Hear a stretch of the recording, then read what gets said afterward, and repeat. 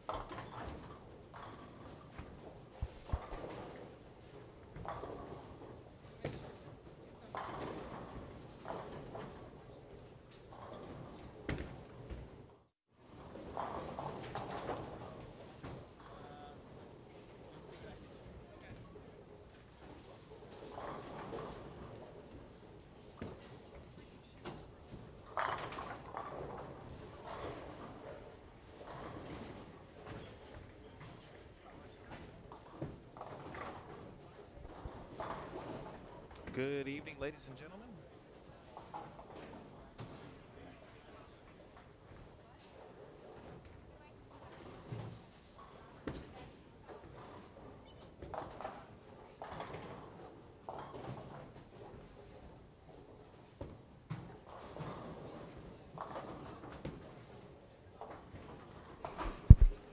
Good evening, ladies and gentlemen.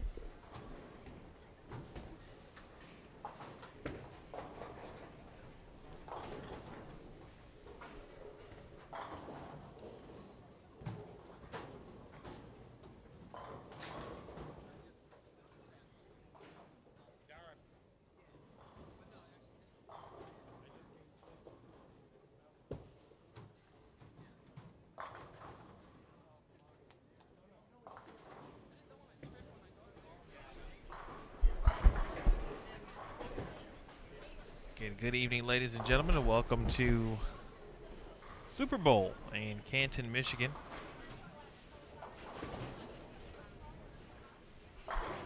Round two continues on here, or I should say gets underway as the event continues on.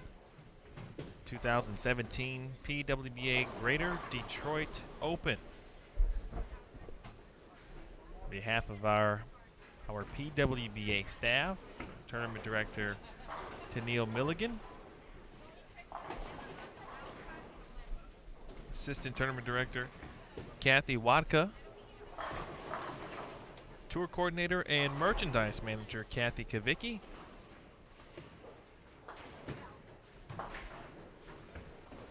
and our brand manager and director of digital media Jason Thomas. My name is Emil Williams Jr. Thank you for tuning in on Extra Frame.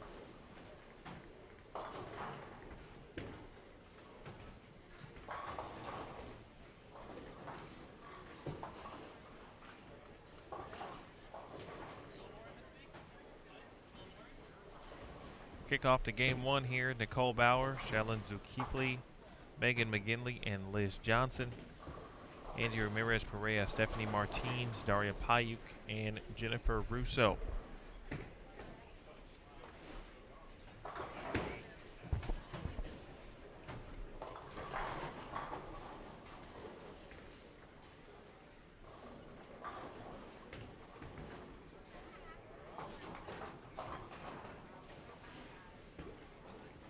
Open in the third for Pajak on a double. Angie Ramirez Perea. Out with an early three backer over on 35 and 36. Angie shot buck 60 the last game in round one, but doesn't take away from what she did earlier. She is tied for sixth, plus 131. Your leader is Verity Crawley from England at plus 182.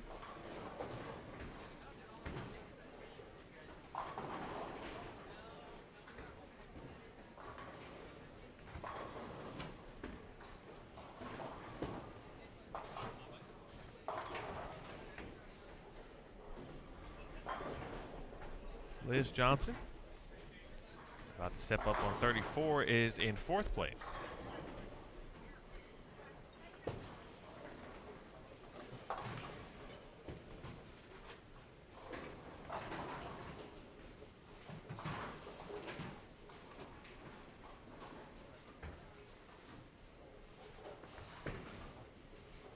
Crawley at plus 182. Josie Barnes in second at plus 177. CT Rockman at in third at plus 176. Liz Johnson fourth at plus 141. Jen Higgins in fifth at plus 136. A tie for sixth, Sandra Gongora and Ramirez Perea at plus 131. Diandra Asbaty in the top 10 is in eighth at plus 129. Maria Jose Rodriguez is ninth at plus 125. And Diana Zavjalova is in 10th at plus 102. 32nd is Daria Pajak at plus 24.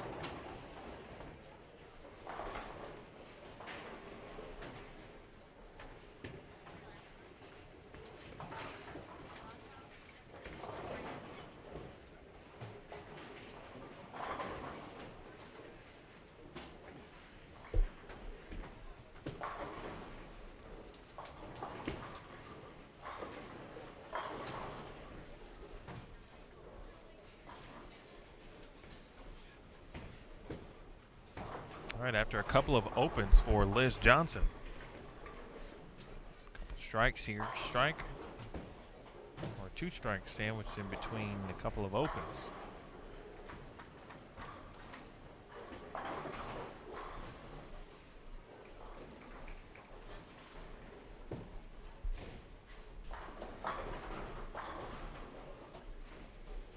Shalin, 10 pin. Or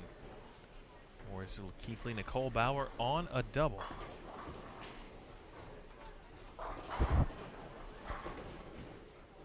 right, Ramirez. All right, some favorable carry here early on. And he's thrown it well, looking to again, get into the cashier's round.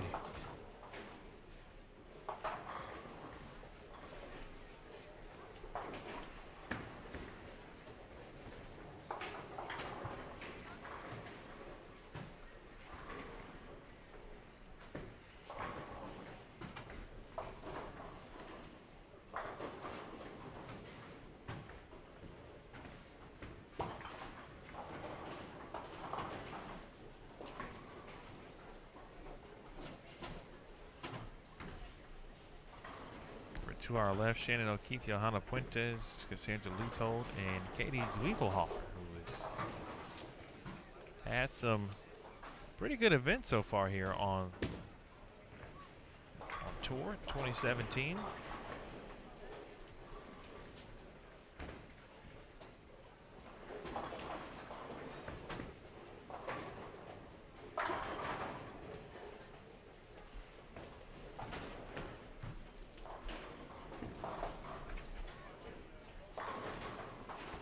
A four pin for Zulkifli.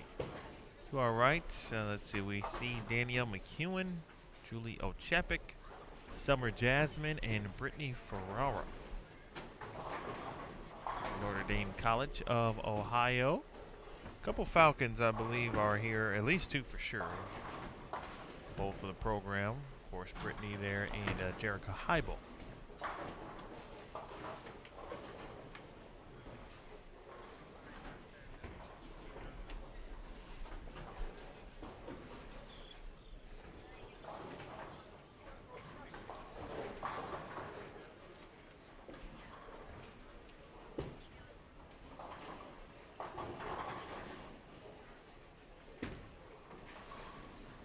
All right, Shalin takes care of business here.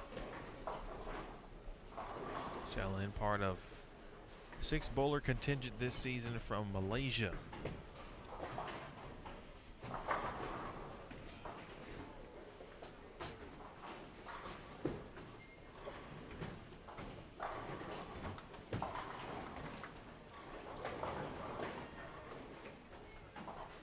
Liz Johnson trying to tie a record. Record for most consecutive TV appearances. By qualifying or making TV this week and qualifying for the TV finals.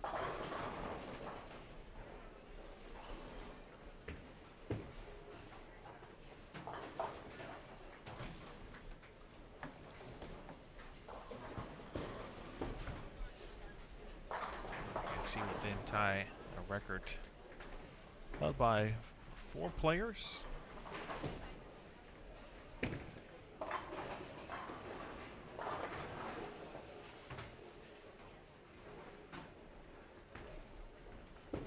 Carolyn Dorin Ballard did it twice. Carolyn Giannotti, Nikki Gianulias, excuse me, and uh, Lisa Wagner.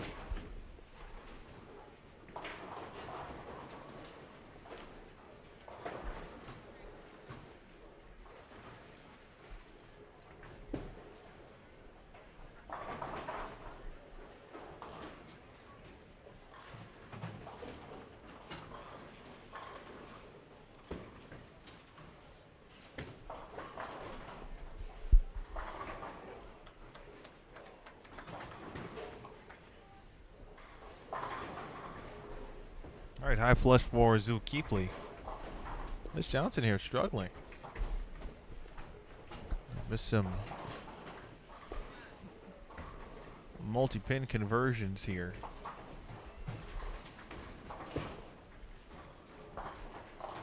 Which is very odd to see from Liz. So 64 through the fifth.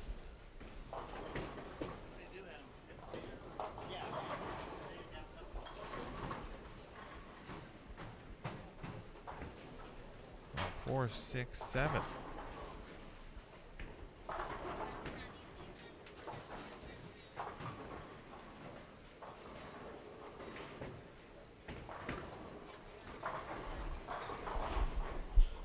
You see the bucket. Angel Ramirez Perea.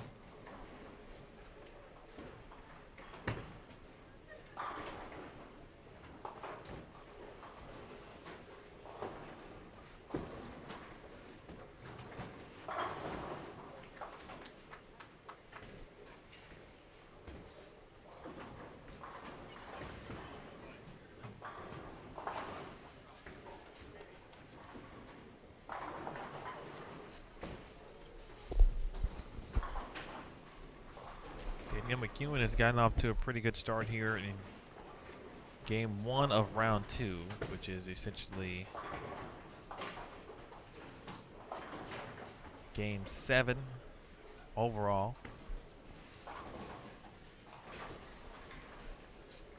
Hayuk after the early open. Got him back on track.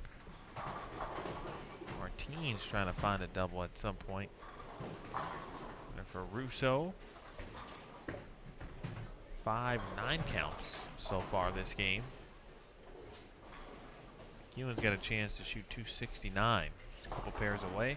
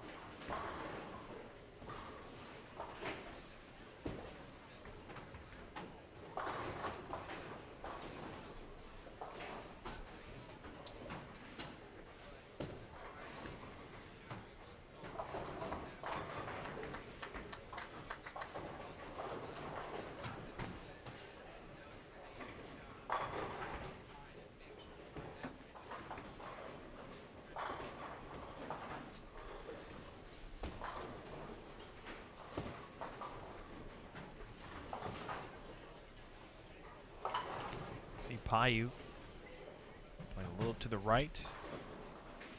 Here to begin things on the fresh. No re-oil, or excuse me, no burn squad, I should say. There was a re-oil.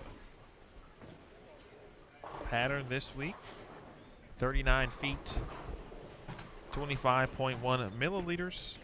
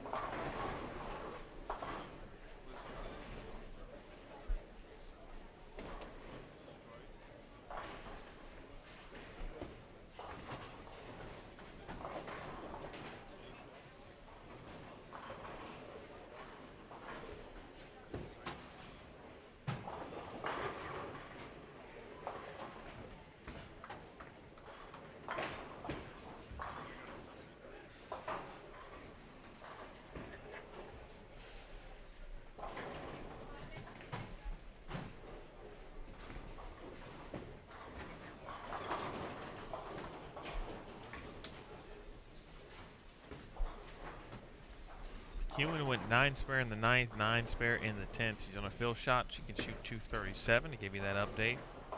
Ball change for Liz and 310.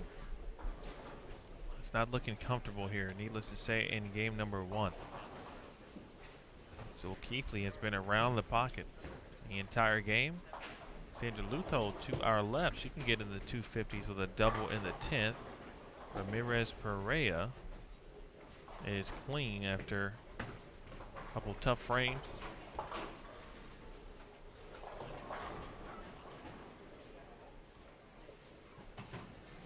Megan McGinley up looking for a double here shortly. And a break for Pajak. Gets the 10 out.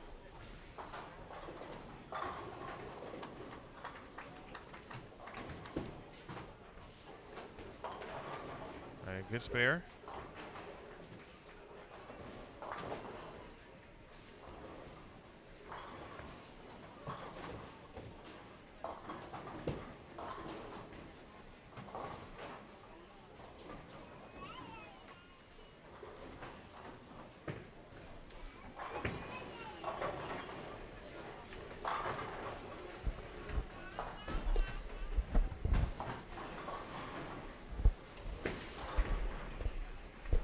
McGinley, of a double, she did double.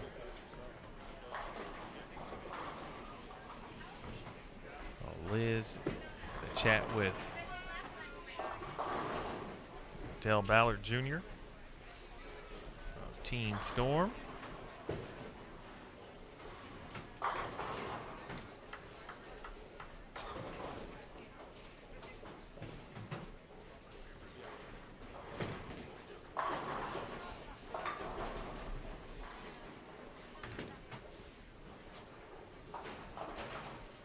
Nicole Bauer.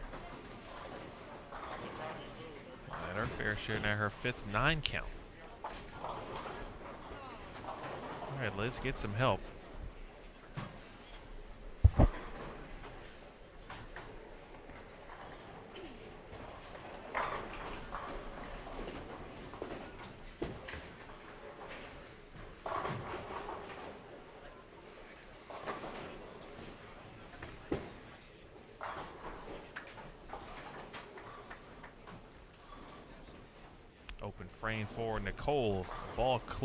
10 pin. Or excuse me, the 9. It just touched it, but it did not go over. Well, McEwan shot 237. Julie Ochepik on the same pair shot 252. Zul Keepley. Right, going to need a little work in the 10th, but she can get into the 2-0s.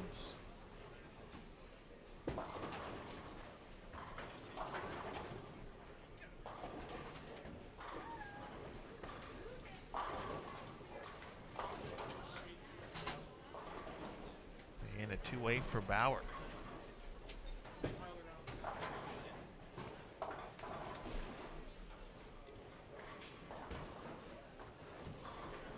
Shannon Pluhowski.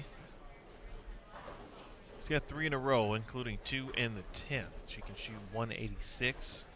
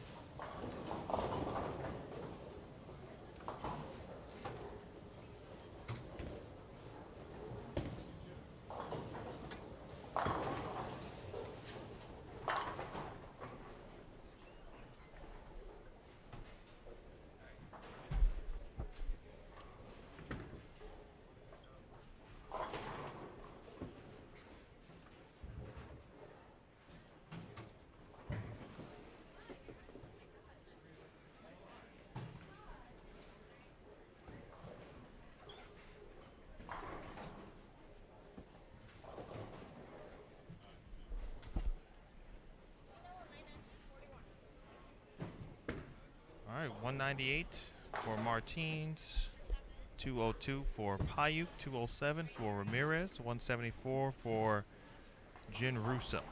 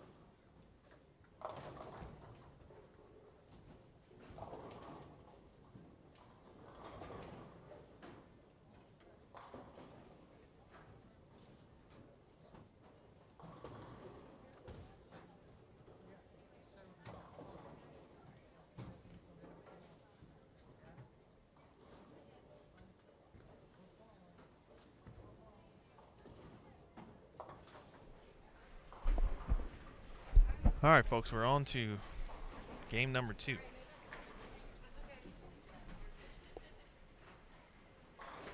Sorry about that. Had to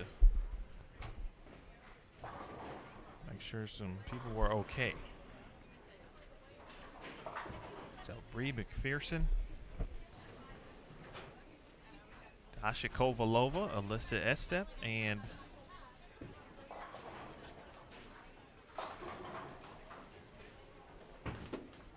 Shannon Pluhowski.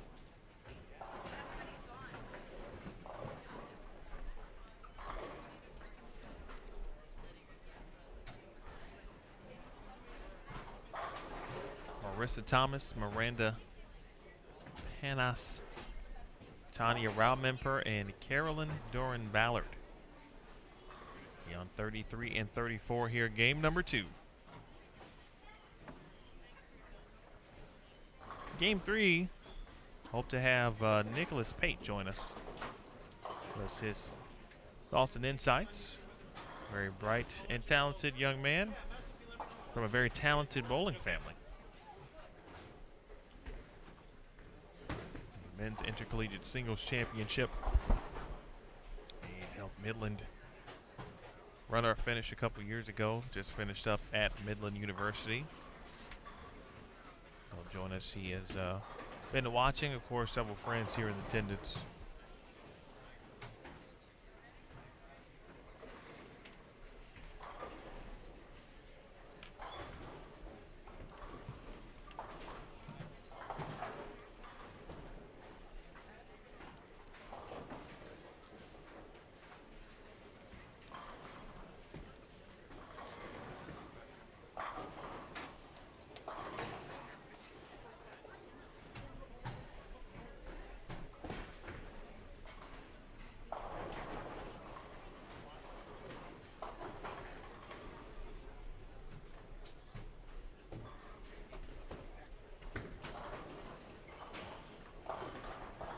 Marissa Thomas.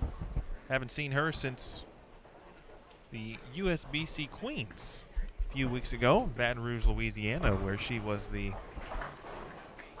final qualifier.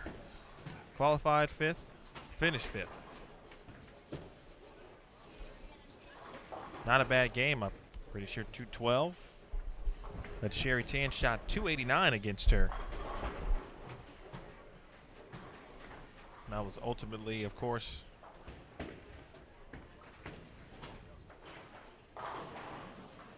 the difference in that game. Sherry had the front 10 and uh, threw a very good shot on the 11th, but Marissa Thomas, meanwhile, was part of the, the old Fatal Four-Way, if you will. Four competitors in the elimination final match where three players with the highest three game totals will move on to TV essentially. She had to make a 310. A 310.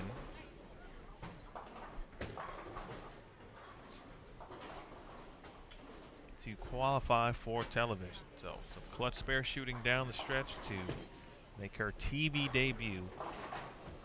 Well, pretty cool week for her, obviously. Pretty cool night to watch her succeed, and even better to watch her on TV.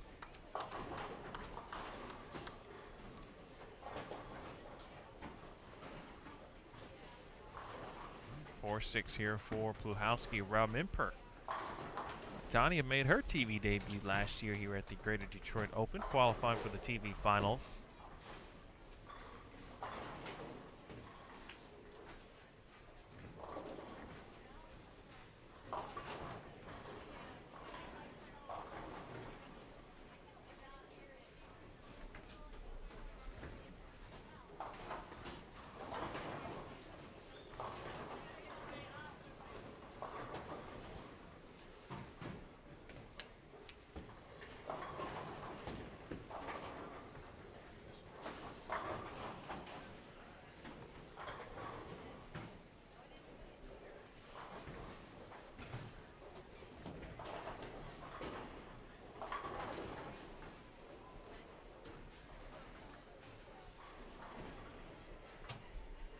game three. In round two, we will see.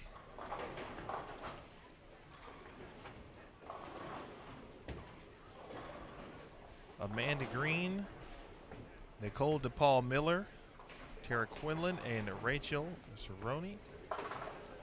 On 35 and 36, we'll have Shanoa Rhodes, Shai Donald Hamidi, Rocio Restrepo, and Verity Crawley. We'll see Verity Actually, we'll see that cross for the first time today.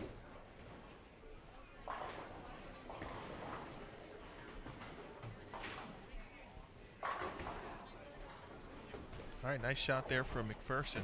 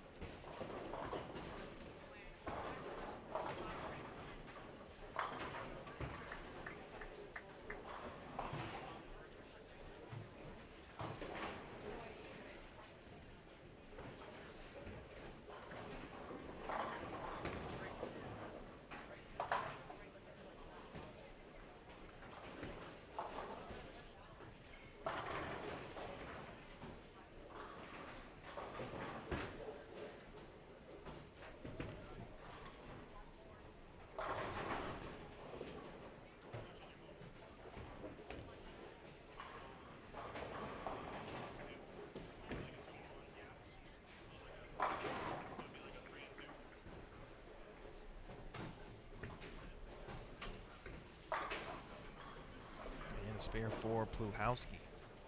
Appreciate everyone tuning in. Feel free to drop a comment. The live now posts.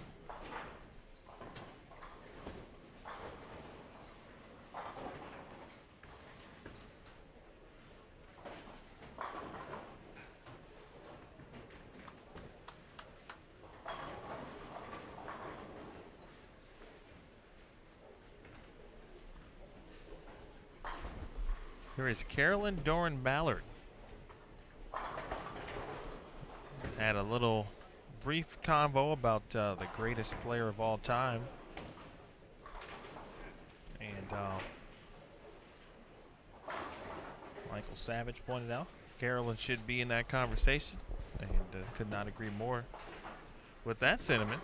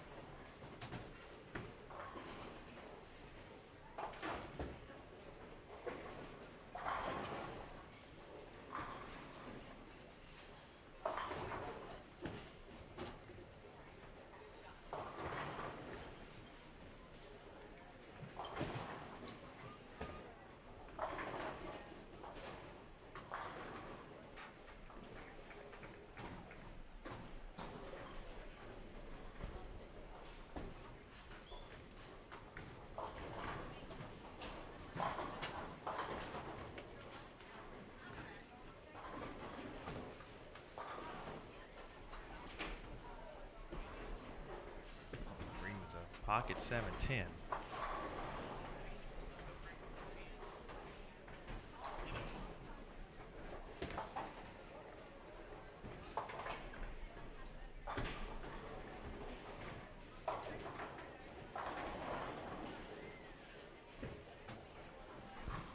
Of course, CDB, obviously with 20 titles, USBC Hall of Famer.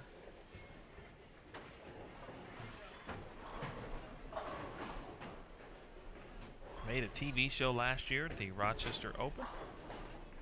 It was such a cool moment for her to kind of be back on TV, but when it happened, essentially double. The first one really locked it up, but need a good count on the second shot and the tenth. Right over to husband Del.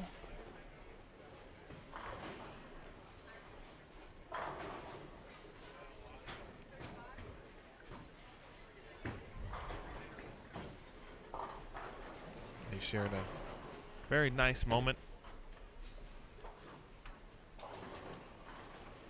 As someone who has certainly, obviously, watched the tour, you know, prior to the hiatus, as everyone has here. Another great shot there from Bree.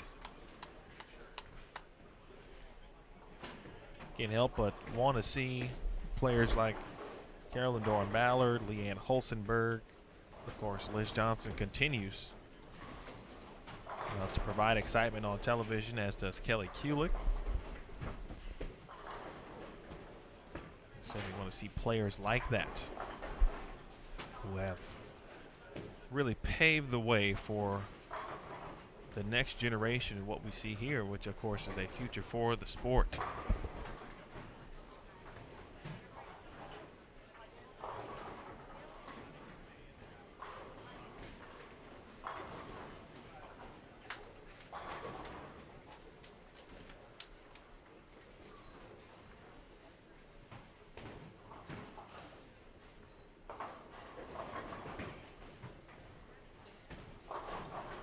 Kovalova trying to not only find the strike zone here, but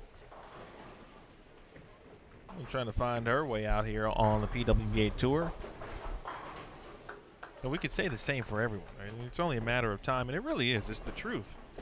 We know Dasha Kovalova at some point will make a TV show. Tanya Roumimper made her first again here in Detroit last year. It will not be her last.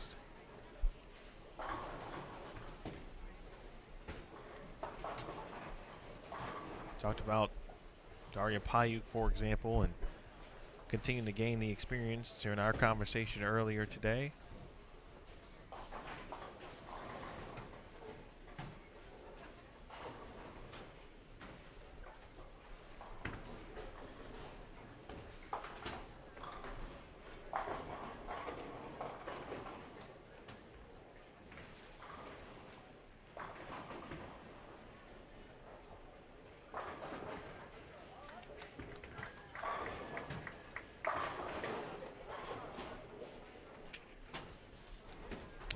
Pluhowski. Only in the books. Their first strike of the game.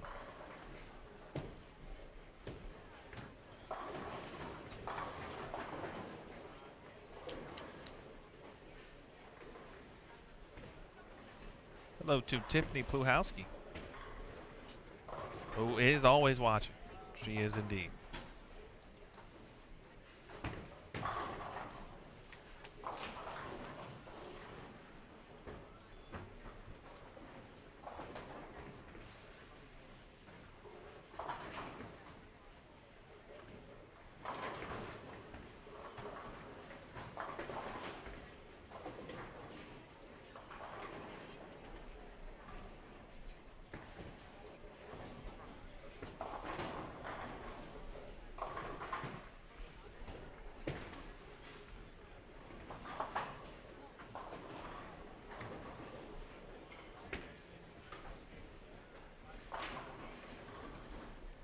Mentioned some of the veterans paving the way.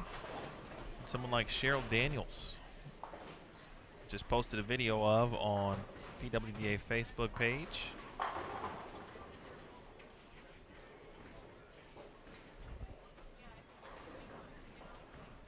Cheryl, of course, a USBC Hall of Famer, competing this week in her native Detroit area. 10 titles for Cheryl on the 95 U.S. Women's Open. She's in 18th. And a pretty good block. If she can repeat that success, she'll be on to extended play tomorrow.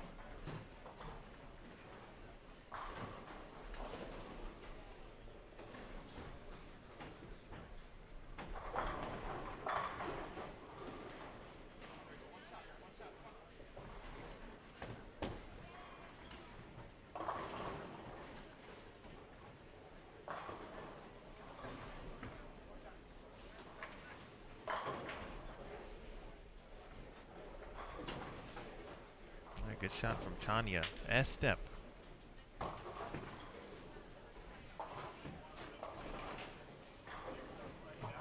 PBA washout. Marissa Thomas. Playing the lane similar to what and how she played them at the Queens.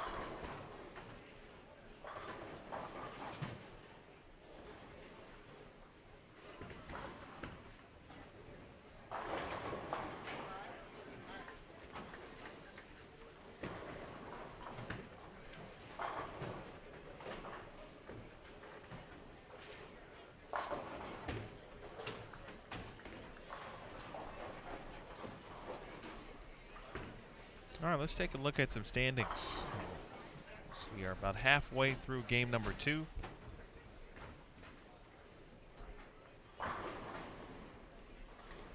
New leader in the clubhouse. It is Josie Barnes from Nashville.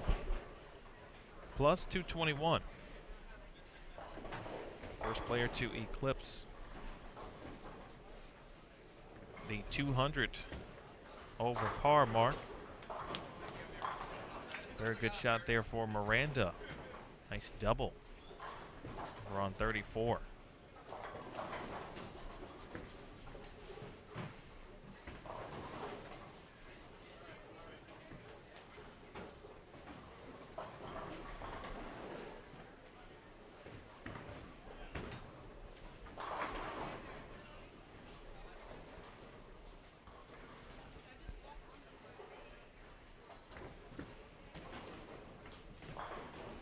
Verity Crawley is second at plus 194. Sandra Gongora is tied for third with CT Rockman at plus 154. Cassandra Leuthold and Angie Ramirez Perea tied for fifth, plus 138. Diana Zavjalova is seventh at plus 127. Jen Higgins is eighth at plus 120. Shai Donald Hamidi is ninth at plus 115.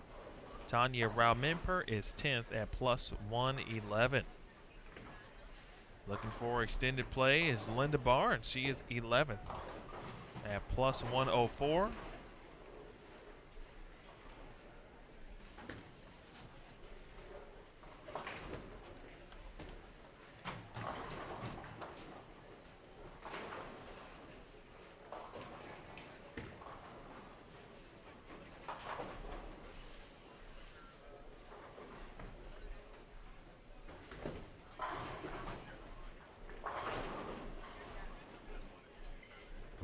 Liz Johnson is 12th after tough opening 158 game. Certainly a big contrast to how she opened uh, opened up round one. She shot 278 this afternoon in game one. Tonight, 158 out of the gate. She drops to plus 99. Cheryl Daniels, just talked about her from West Bloomfield, Michigan. USBC Hall of Famer three USBC Hall of Famers 11th, 12th, and 13th.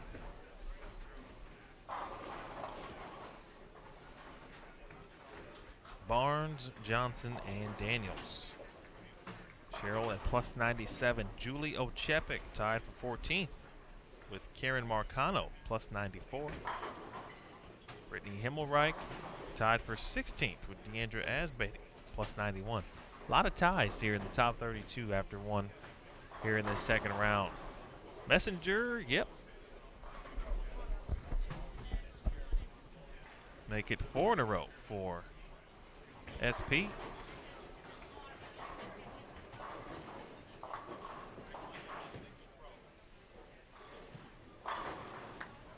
Ooh. That's a nice shot there from CDB.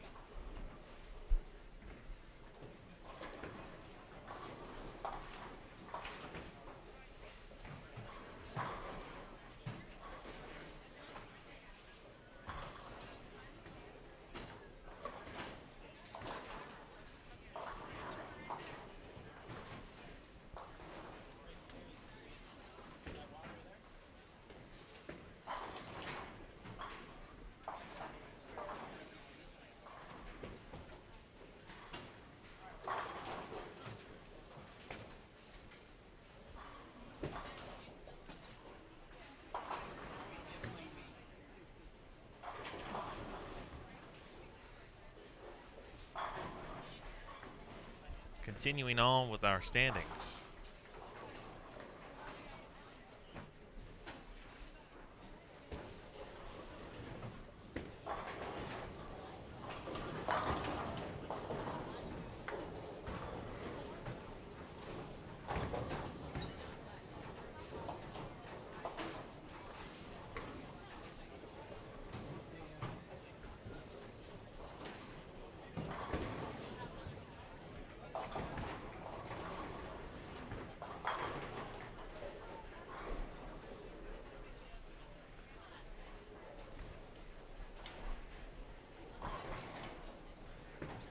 Everyone was taking a look at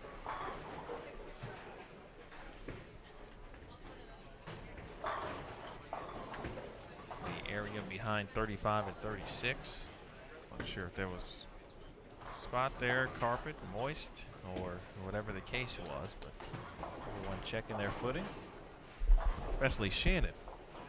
Shannon had, had the wire brush out, just going to town on her sole combination.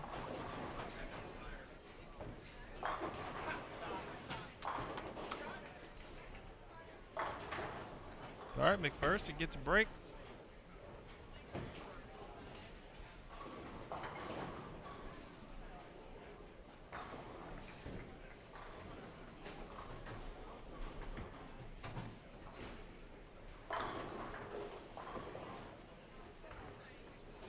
All right, here's Pluhowski. Does she have five in her? Yep. I got five on it. Some people may know that song, some may not. It also may not be for everyone, so just almost like a uh, that's a warning, so to speak.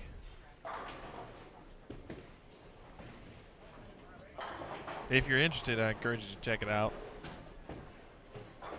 Google and YouTube are pretty cool tools these days. That's essentially the name of the song. Might be my new thing when I, hit, when I see five in a row. We'll see. It depends because I'm kind of forgetful, so I easily could forget. All right, Bree, trying to just kind of get under control a little bit here. Guttered, and then pulled one, made the spare. Pulled down with that one again as well, just trying to kind of get back into rhythm. Certainly easy to do when you do throw one in the channel. Obviously, you want to do everything you can and not do it again.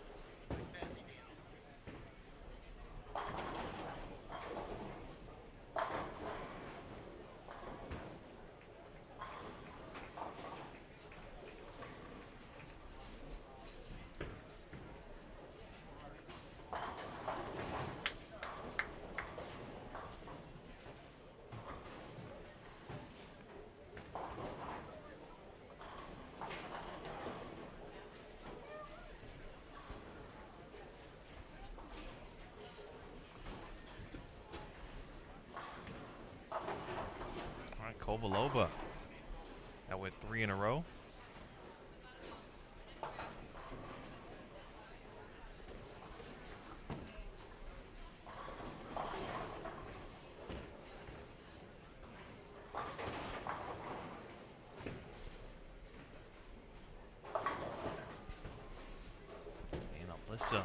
High in the 10th frame. Dorin Ballard with five in a row. I missed her opportunity there, so no songs for six. All right, half a dozen for CDB. Let's see where Carolyn Dorin Ballard is in the standings. She is 25th at plus 59. Is Giselle Poss threatening for some extended play here Boss recently of Vanderbilt University. She's in a tie for 31st with Shalin Zulkifli at plus 29. Summer Jasmine, Katie Ann Sop Schroeder, Sierra Condon Motel, Restrepo, Liana Franco. Mention Pluhowski, Brittany Smith, Nicole Trudell, Kayla Bandy, Natasha Roslin, and Brandy Remy. Local player is Brandy. Right now in the cashier's round as well. Marissa Thomas.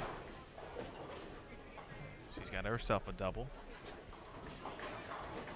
Shannon, nine spared 10th. And she can get to 225.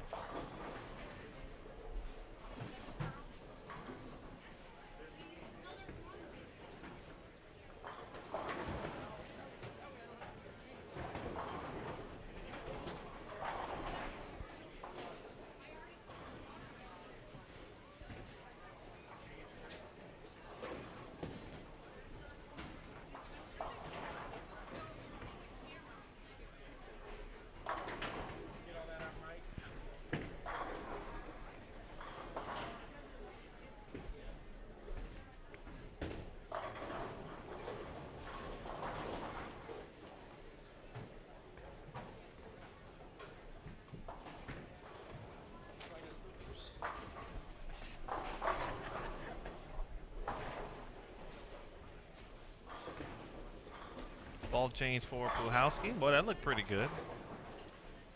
Rob Gotcho gives the thumbs up.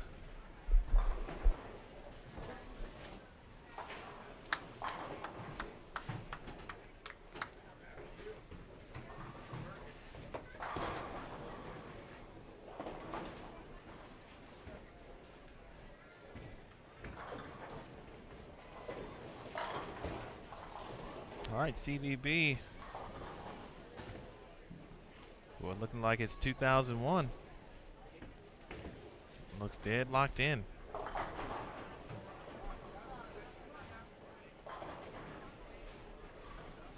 Kovalova. Five in a row for da Dasha. How about six? She will get it. Dasha can get the rare 220 game with not a spare in sight two early splits, 8-1 in the fourth. And strikes everywhere else.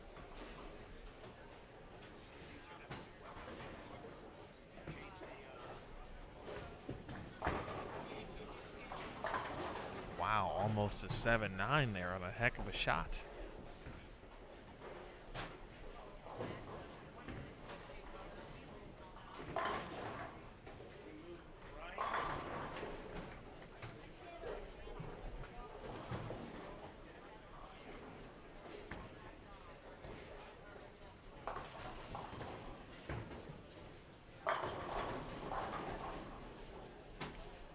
All right, Kovalova from the Ukraine.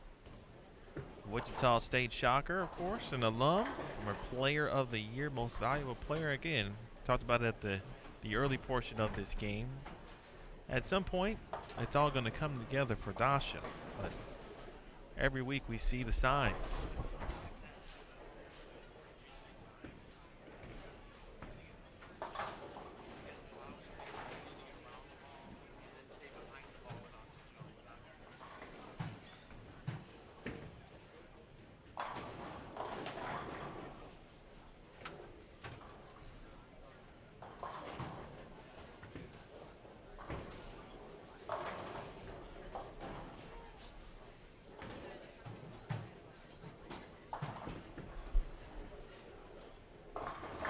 back eight for 224 for Kovalova.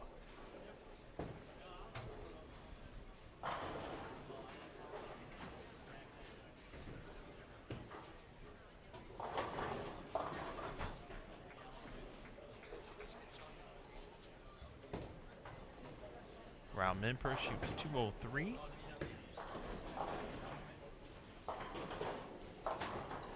and a Greek church there on the end.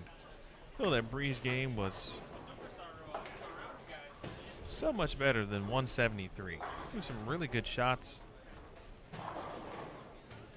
But that is our sport right there in a, in a nutshell in some cases.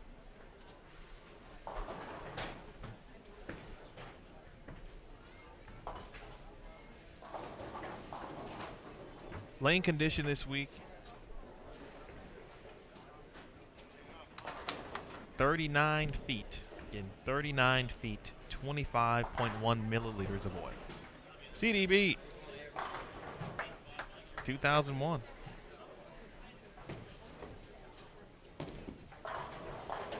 First one in the 10th is a good one. Miranda Panas quietly just doing her thing here. Double, she can get into, uh, well, good count. First of all, a double and good count might get her 210, but that helps. Uh, she can get at uh, 214.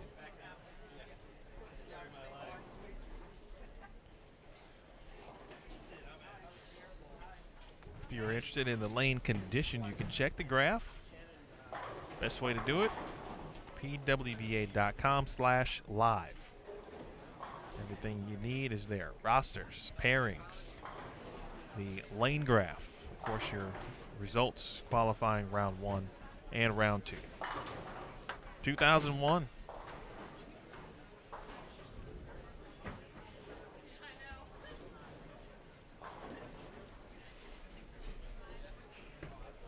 Carolyn still with so many fans across the world, not just the country, across the world. And of course, a standout player on the PWBA tour for so long. She's a person that, you know, in any situation, you just can't really help but root for her. Because of what she has done and meant to the sport of bowling and specifically women's bowling. And she's a great person.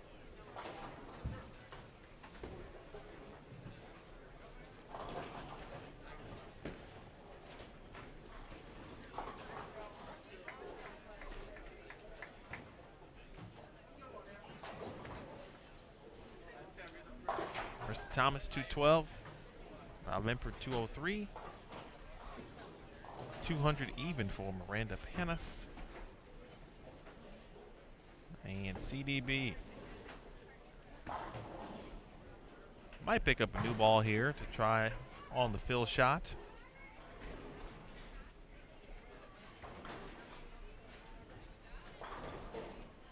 Your time and then kind of that patent it, get down into a good knee bend position. Pulled it a little bit, but it's okay. Very nice game for CDB.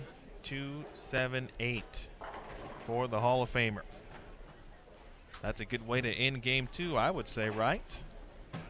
So we will move on to game number three.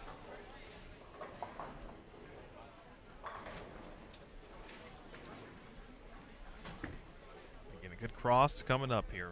Shy Donald Hamidi, Verity Crawley, Shinoa Rhodes, Rocio Restrepo.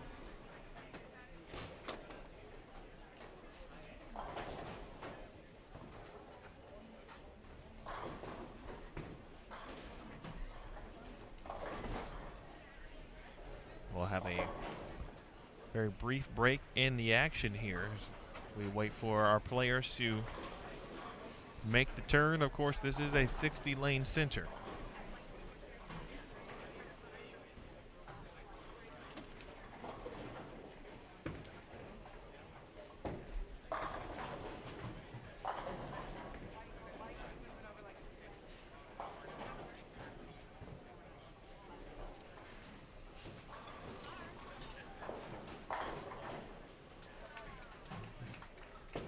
Appreciate some of the media coverage we have received so far here.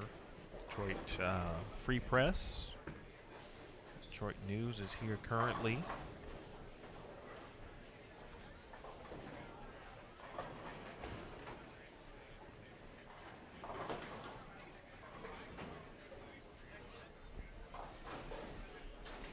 Again, lane condition. 39 feet, 39 feet, 25.1 milliliters of oil. There's a Kegel curve this week. Again, check it out, pwba.com slash live. Nicole DePaul Miller, Amanda Green, Rachel Osironi, and Tara Quinlan.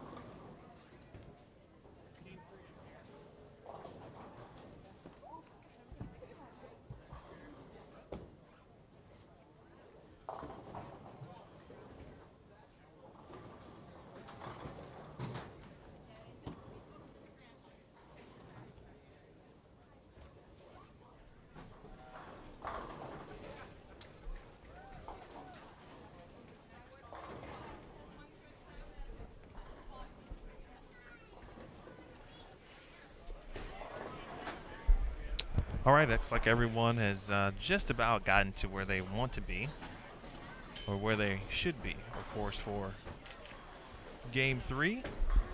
And as I mentioned to you earlier, we will be joined in game three by a special guest. That guest is here. He is the 2017 Intercollegiate Singles Champion. A very talented player comes from a very talented bowling family. We will ask him if he is the most talented in his family mo- momentarily. None other than Nick Pate. Sir, how are you? Oh, I'm great. Thanks, uh, thanks for having me in the booth. It's a really good time.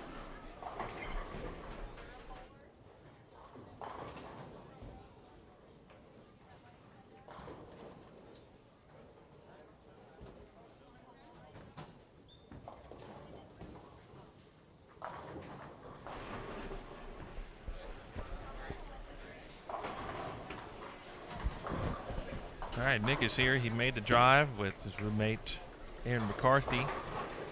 So obviously you've been watching some bowling throughout the day. Uh, what have you seen from round one? Because we always sometimes see some differences, and you've been bowling for qu- quite a while. That you may notice a difference from you know round one to round two. What have you seen so far here from the from the ladies?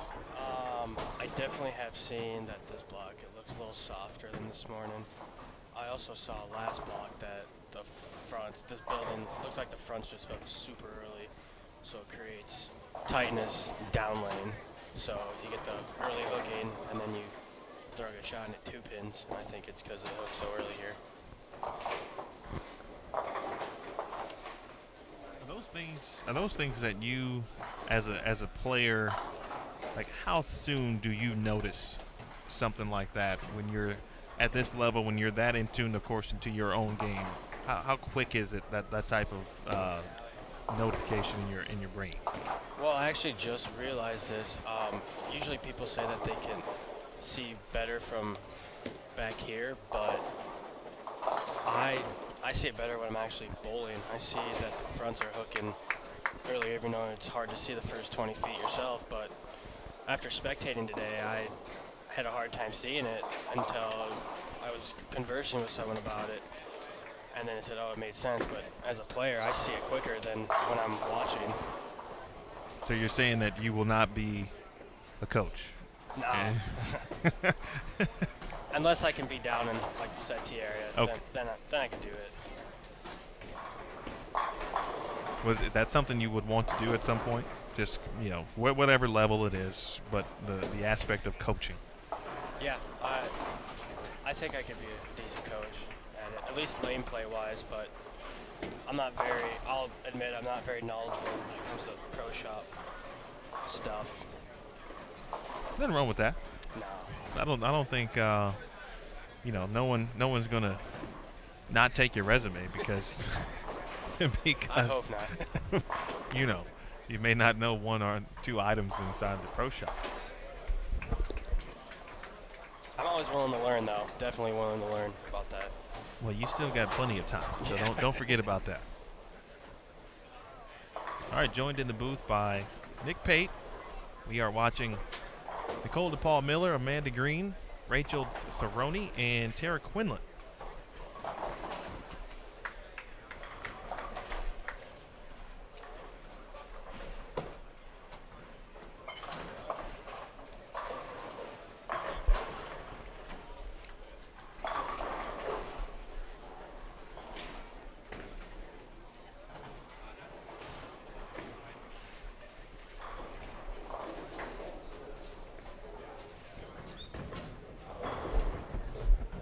Also looking at Verity Crawley. Verity was the round one leader. Of course, uh, always just a stout physical game. Really, uh, you know, we can say certainly coming into her own very early still in her PWBA career, but uh, she's kind of that front runner early for Rookie of the Year. We can all see why, essentially. Yeah, she throws it fantastic. I had, I think I bowled two or three years collegiately just watching her. So, yeah, she's she's definitely very good. anything that you see, and obviously you bowl with her, you've seen her a lot collegiately. Um, anything that stands out for you that says, "Wow, she really does this well." It's not because you know this thing is not why she's so good, but you know, for you, what do you notice? Uh, the first thing is the rev rate. Obviously, you're a female and you have rev rate, you have an advantage over the other ones. Um,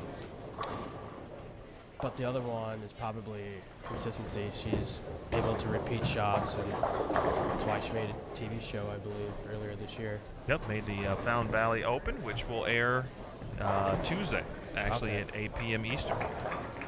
So be sure, folks, to watch that. Set your DVRs. Yeah. That's called a nice segue and a good tease from Mr. Yeah. Pate.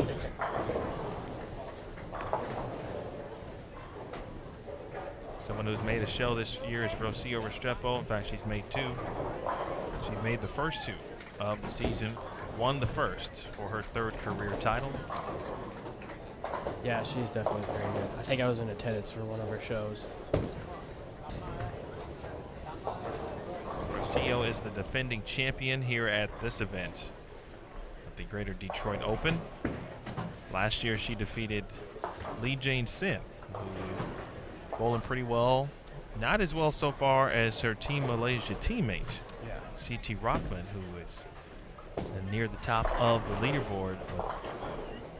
But every week, it's uh, it's fun to watch because you don't know what's going to happen. That's the first thing, right? No. And we can't really predict it because, well, except for Liz Johnson, who is just doing all kinds of great things Yeah. that we've talked about before, but you just don't really know because there's so many great players. I mean, it's Oh yeah. so cool. up girls, you know? What a spare. And they do things like that. Yeah. They pick up splits like that, and it looks like a five-pin spare for them. Yeah, their their spare games are, uh, and it, it, I mean, you won't expect really anything less at, at this level. No. Missing single pins are, are kind of rarities for a lot of players out here for sure. So we look at Crawley. Another good shot for Verity. Keeping it in play, keeping it a one-three. I think she ten pin, which obviously is good leave.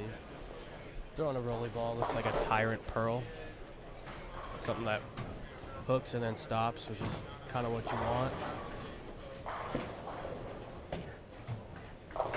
Syaidatul Hamidi striking in the third. Syaidatul from Malaysia. She made a TV show last year uh, in emphatic fashion, actually, to even qualify for it. Shot 300 in the group step ladder final to advance to TV at the Wichita Open. Yeah, I remember that. I those and girls, they, they throw it so well. It's, it's all so simple. It's um, they've got uh, six bowlers for four events this year. Last year they had eight, eight bowlers that is, as Restrepo strikes. But uh, Li Jane Sin, uh, back-to-back weeks, she claimed the number one Yeah. seed. It's it's crazy. Uh, Siti Rahman is the number two seed for Wichita. Um, she will be in the running, it looks like, this week for television if all continues to, to fall the way they have so far.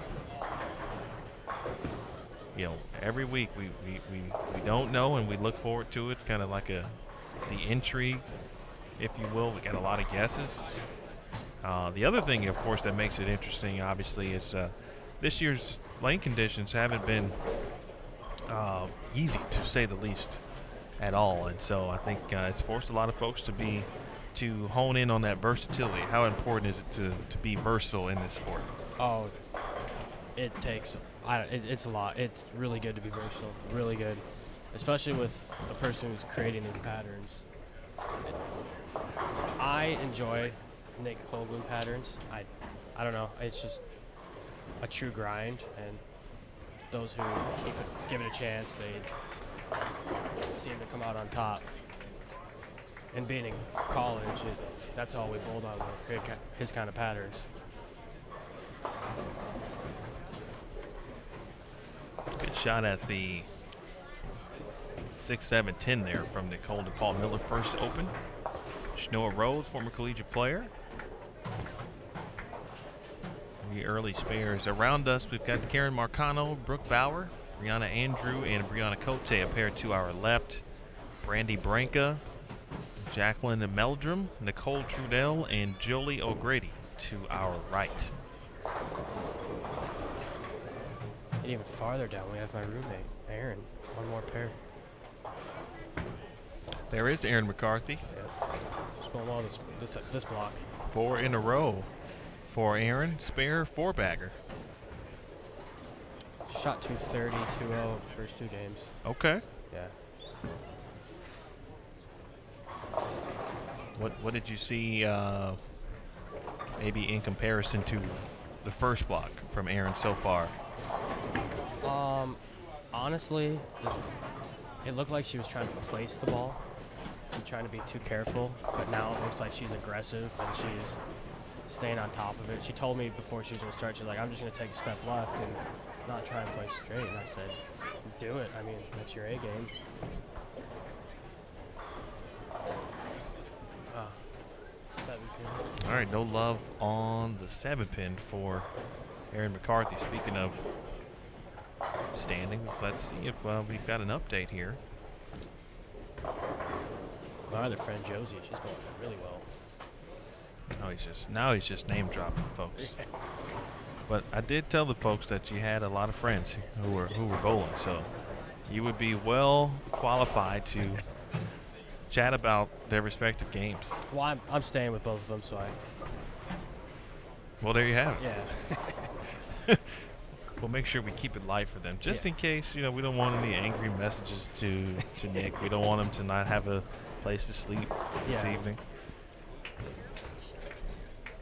All right, this is game number. What game is this, Nick? Uh, so this would be eight. This is nine. I ask this question every every week because at some point during the day I just kind of don't remember.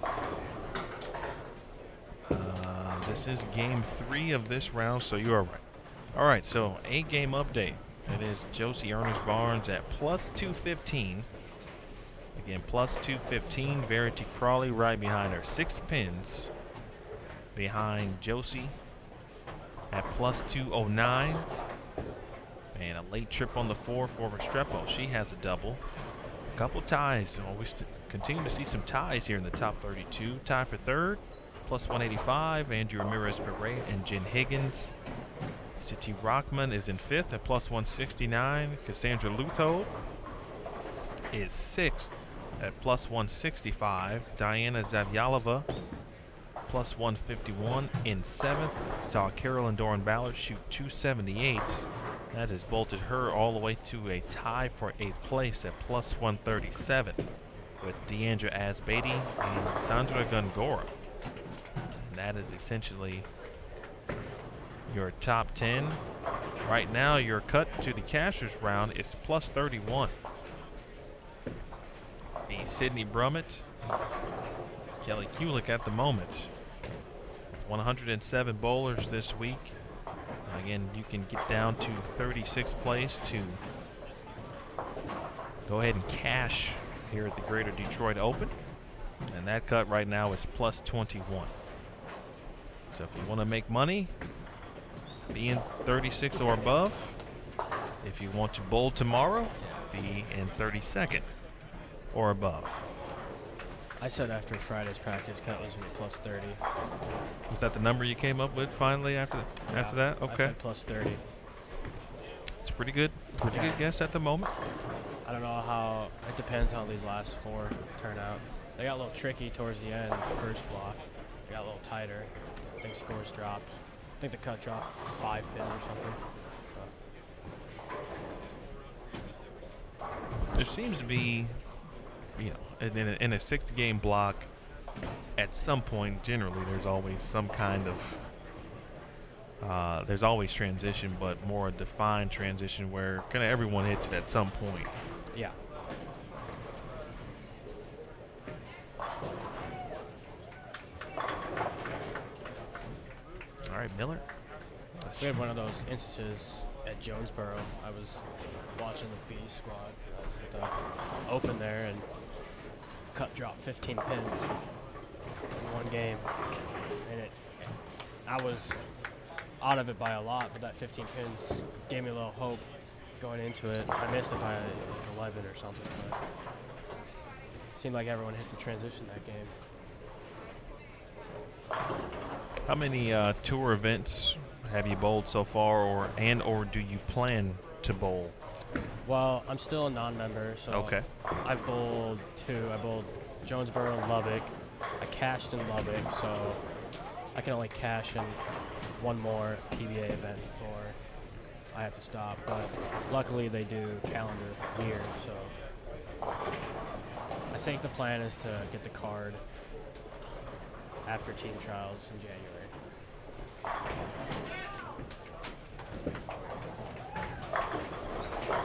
Of team trials was uh, obviously a very important event for you this year, or I guess uh, yeah, this year. Which man, January was so long ago at, at, at this Yeah. at this point. Uh, but uh, making Team USA is something I know that was a goal of yours Yeah. uh, to represent uh, your country, especially uh, on the you know, the adult team. What did that moment mean to you? And you know, just for uh, the viewers, obviously, you know, no matter what the event is, but being able to represent one's country is a, just in a different aspect. Uh, what what did that moment mean for you personally? it's it is one of the greatest feelings because I look at it as I am one of 14 people that represent the United States for bowling. I think we have 14 on the team, so I'm one of them. So putting that in perspective is difficult, but yeah, that's that's me. That I'm one of the 14. So I I'm extremely I stay humble about it. I just yeah, that's all I can say. It leaves me speechless just thinking about it sometimes. What about the, the, the point of just achieving the goal that, that you set for yourself? I mean, that in itself, um, you know, had to be, you know, had to make you feel not, not only kind of an, an amazing feeling, which, which of course it did, but you know, everyone sets goals. We don't always achieve them, but you were able to achieve that. What was that like? Um, just another good feeling. It uh, it's a stepping stone. It was I can achieve now a higher goal, like maybe bowling well enough to get to the opportunity to travel for Team USA. I mean, I'm I'm happy to be on it as a selection or Sure. whatever. Just happy to be on it, but to be able to be selected to travel would be another goal, and that means obviously putting in the time, the work, and all the fun stuff. It was an even better experience because my sister made it as well, so kind of left my brother out of it. I think, uh, does he have any plans to bowl you know, Team USA drums at some point. That's something he wants to do. Oh yeah, he actually bowled this year. He did. Okay. All- we've all bowled for the last three, four Oh, years. nice. Yeah. For those of you don't, who don't know, uh, folks, Nick Pate has two siblings. He mentioned his sister and his brother. His sister Lauren uh, bowls collegiately for McKendree, who had a dynamite year, of course, as well as a team, winning the NCAA championship and the uh, intercollegiate team championship, both on the women's side. And his brother Josh bowls for Wisconsin Whitewater, who also had their highest finish at intercollegiate uh, team championships this season, uh, finishing in towards tie for third. Lauren and Josh are twins. Yep. Lauren's older by a minute. 60 seconds. Yep. Does she let him know that all the time? Uh, when they Back were in the younger, when they were younger, not so much now. Looks like Verity got a handful of that one. All right, nine pin for Verity. Just about through six frames on 35 and 36. Amanda Green trying to get something started here. She leaves a 10 pin on a three bagger. See where Amanda is and the standings currently. Minus 59, so some work to do, but can get there. She certainly can do it. Has the game to do it. Oh yeah. Picks us up and strikes out for that, 240, 230.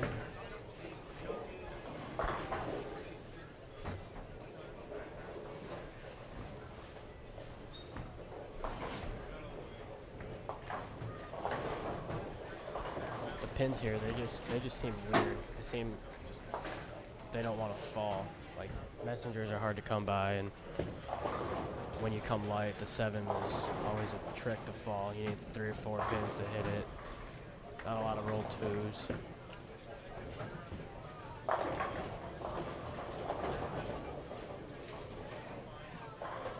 if you were to compete on this on this pattern, and we talked about it, you have been watching, of course, uh, and then seeing some things that you may adjust to as the day has gone on. Would you play them similar? Um, you know, kind of attack in kind of similar zones to where you've seen some of the players play today. Probably. Honestly, I'd probably start out with urethane because I think urethane might be in play for the ladies that have higher revs. That's what I've noticed. But no one's really tried it because they've actually they actually have hook on this pattern, unlike the other ones. So, um, but yeah, I would probably start with uh, higher symmetrical bowling ball and try to stay up the back, let it stop rather than keep going. Dreaded 710. There's been a lot of those this weekend. Pocket 710. Saw another one earlier on our previous game on 35 and 36. Update uh, Erin McCarthy. 186 in the eighth, spare in the ninth. Can get to 236. Be a big boost.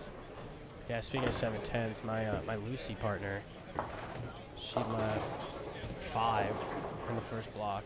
Brady Smith, a five in the first block, and it was two or three in the first game. And she Wow. still shot 193. Wow. Yeah. Six strikes? Seven? It was six or seven. Yeah.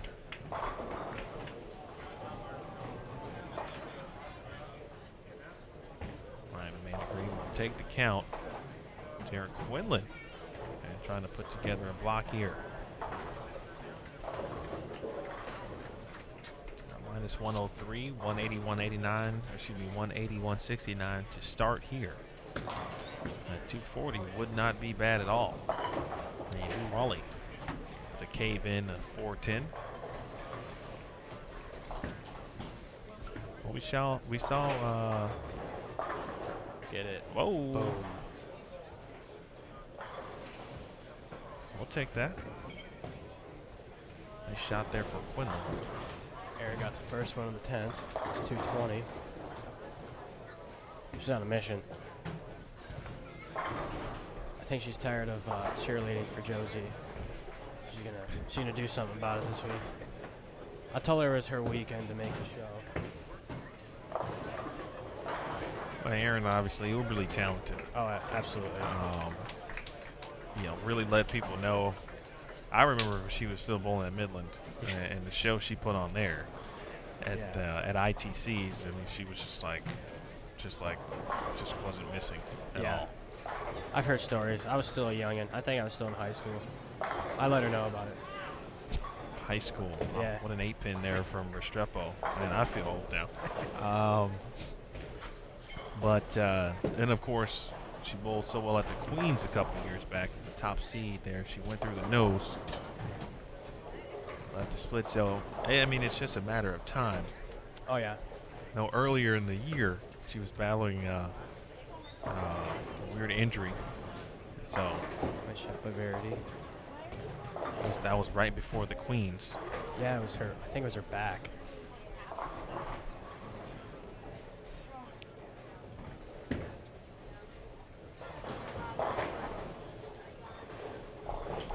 Cerrone is clean through nine as well.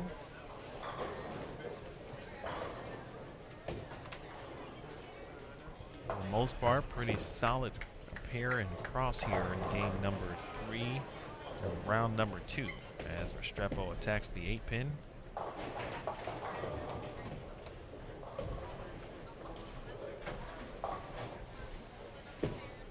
Tough break there for Rowe, especially in the eighth frame, looking for more. We saw Carolyn Dorin Ballard take uh, 280 essentially to the final shot. Ended up shooting 278. That's pretty good. Looked like 2001 Carolyn Dorin Ballard, which I can't say say you were in high school because I- you weren't. I, I was seven. It's okay. Ask, ask your parents. I know. I know they know. oh, jeez. All right, pocket 710 broken down. Pretty good shot though for Yeah. Tara. Picked it up. Still shoots 220. Big game by Sabrina Divis. She used to bowl for Midland. She did. I bowled with her for three years. What? So what's going on at Midland? I mean, like, did anyone kind of break down the history for you since you've been there? Like, how did how did the even the program get started? Well, there was uh, they were gonna start a program in Blair, Nebraska, and that's about 20 miles. I think it's east northeast of Fremont, which is where Midland is now. But then that program folded. It never got started. It folded before it could even start. So then Midland took in all those athletes that were going to Dana and thus Midland had the bowling team. And I think this that was eight years ago. I want to say. So I can say that I've been there for half the half the life of Midland bowling. Well, I'll tell you, it, it, it didn't take too long to, you know, kind of a get a program going, Yeah. but but a a good one and Yeah. one that looks like it could kind of sustain the success level as Yeah. well. We have a couple of good guy recruits coming in. They're also young. It was me and Casey. We were the old guys on the team. Now we're gone. Now it's just, I think the oldest one's a junior. Two juniors. That's, you know, it, it always, it's never good um, as the senior where, you know, when it's only one or two and Yeah. Uh, but it's it's great essentially overall for the program because of the underclassmen that are, are that are currently there. Well, also it forces them to. I don't want to say this in a bad way. To grow up quicker, and to to understand like these guys aren't going to be here next year. Sure. They got to step up, mature up, and you know lead the way when they're gone.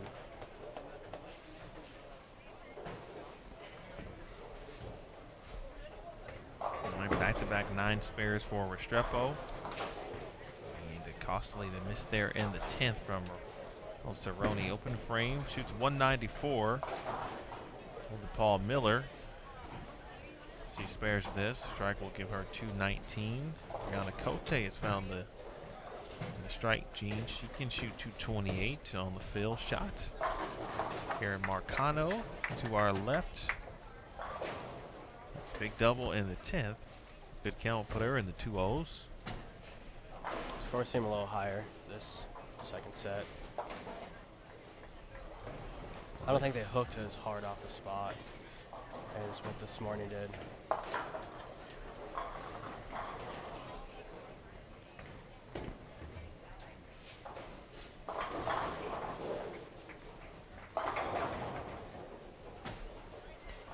Love on the nine pin for Donald. Get some pretty good scores across the good spectrum here, as Nick alluded to. One more, and Quinlan can get into into the 220s.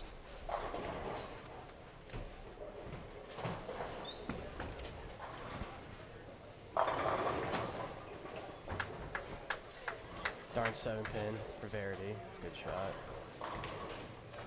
Spare and shoot 190.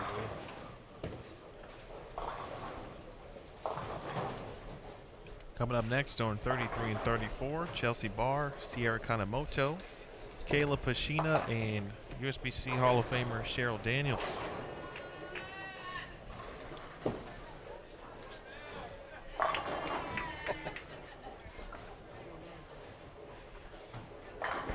I have no idea where that came from. Hopefully everyone's okay. or perhaps a little frustration being expressed in a good way. Yeah. On uh, 35 and 36, we'll have Brittany Smith, Haley Lundy from Canada, Li Jane Sin, and Missy Parkin. First time we'll see that group today.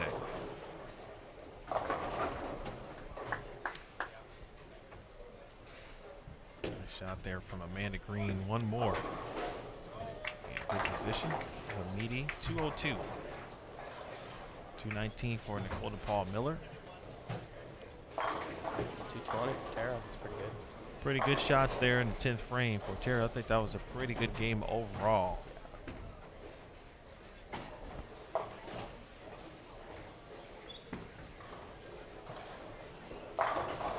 She's just solid at the line. Every shot. It's just Yeah, I don't recall really seeing her ever fall off a shot. Yeah. One of the things you can see with Verity's ball as we watch Amanda Green. Got it.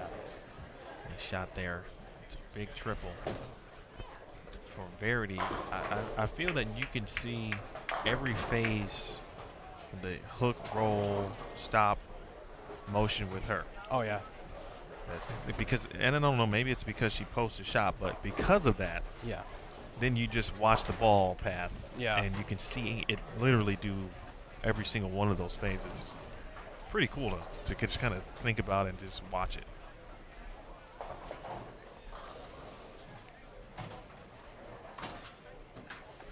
Rhodes with a 10 pin left prior to her fill. Here's Restrepo. She's fun to watch. Very intimidating when it comes to bowling.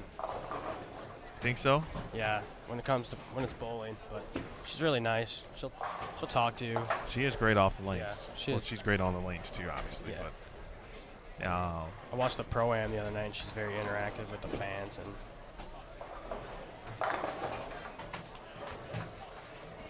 when, when uh, we didn't see her in Wichita, we did, but she didn't make uh, cash ground a rare miss for for Rowe. But so of course last week she's back, and you instantly know that you, you miss Rocio because she has a yeah. she has a very Rocio way of um, kind of post shot to Rocio, is what I like to call it. And you know, the more you watch players, the more you anticipate certain reactions in certain situations. Yeah.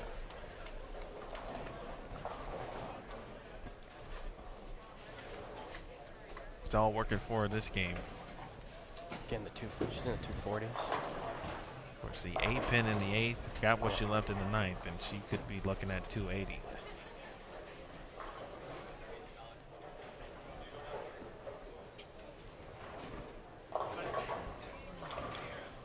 Two eight ten on the field, but no worries. Plus forty five is always good. I'll take that score. Yeah. And so will she. And that'll do it for game number three. That went by pretty quick. Yeah. You got one more in you? Uh, I could go the last last three if you want. We definitely got one more. I know Brittany Smith is on the way. yeah. We'll take a look at Brittany, another Rookie of the Year candidate, And my Lucy partner. and his uh, Lucy partner, of course. Unfamiliar with the Lucy, that is the PBA, PWBA striking uh, against breast cancer mixed doubles event on the PWBA schedule. That will take place in Houston uh, late July, right uh, just prior to the U.S. Women's Open. I will be right here, of course, on Extra Frame as well. It's such a fun tournament. It and it's for a great cause. They raise so much money there. I've got to uh, want to try to check it out if I can. And just make the trip and Yeah, even if you're not bowling, Yeah. just being in that atmosphere is just it's awesome because they do a bunch of door prizes like they give away like I think it was like two TVs like 55 inches. did you win one? No, I didn't. I think one of them was like Bill O'Neill wanted or something. Oh, come Yeah, on, come on, Bill. I could be wrong. You got to get that TV to somebody else. Yeah. I uh, Brittany and I did win a hundred. It was two hundred bucks, so hundred dollars each in a drawing. Nice. They did like ten or twelve random drawings for two hundred bucks. Okay. So Is this for the just the players? yes, Those I, th- I think I think so. Okay.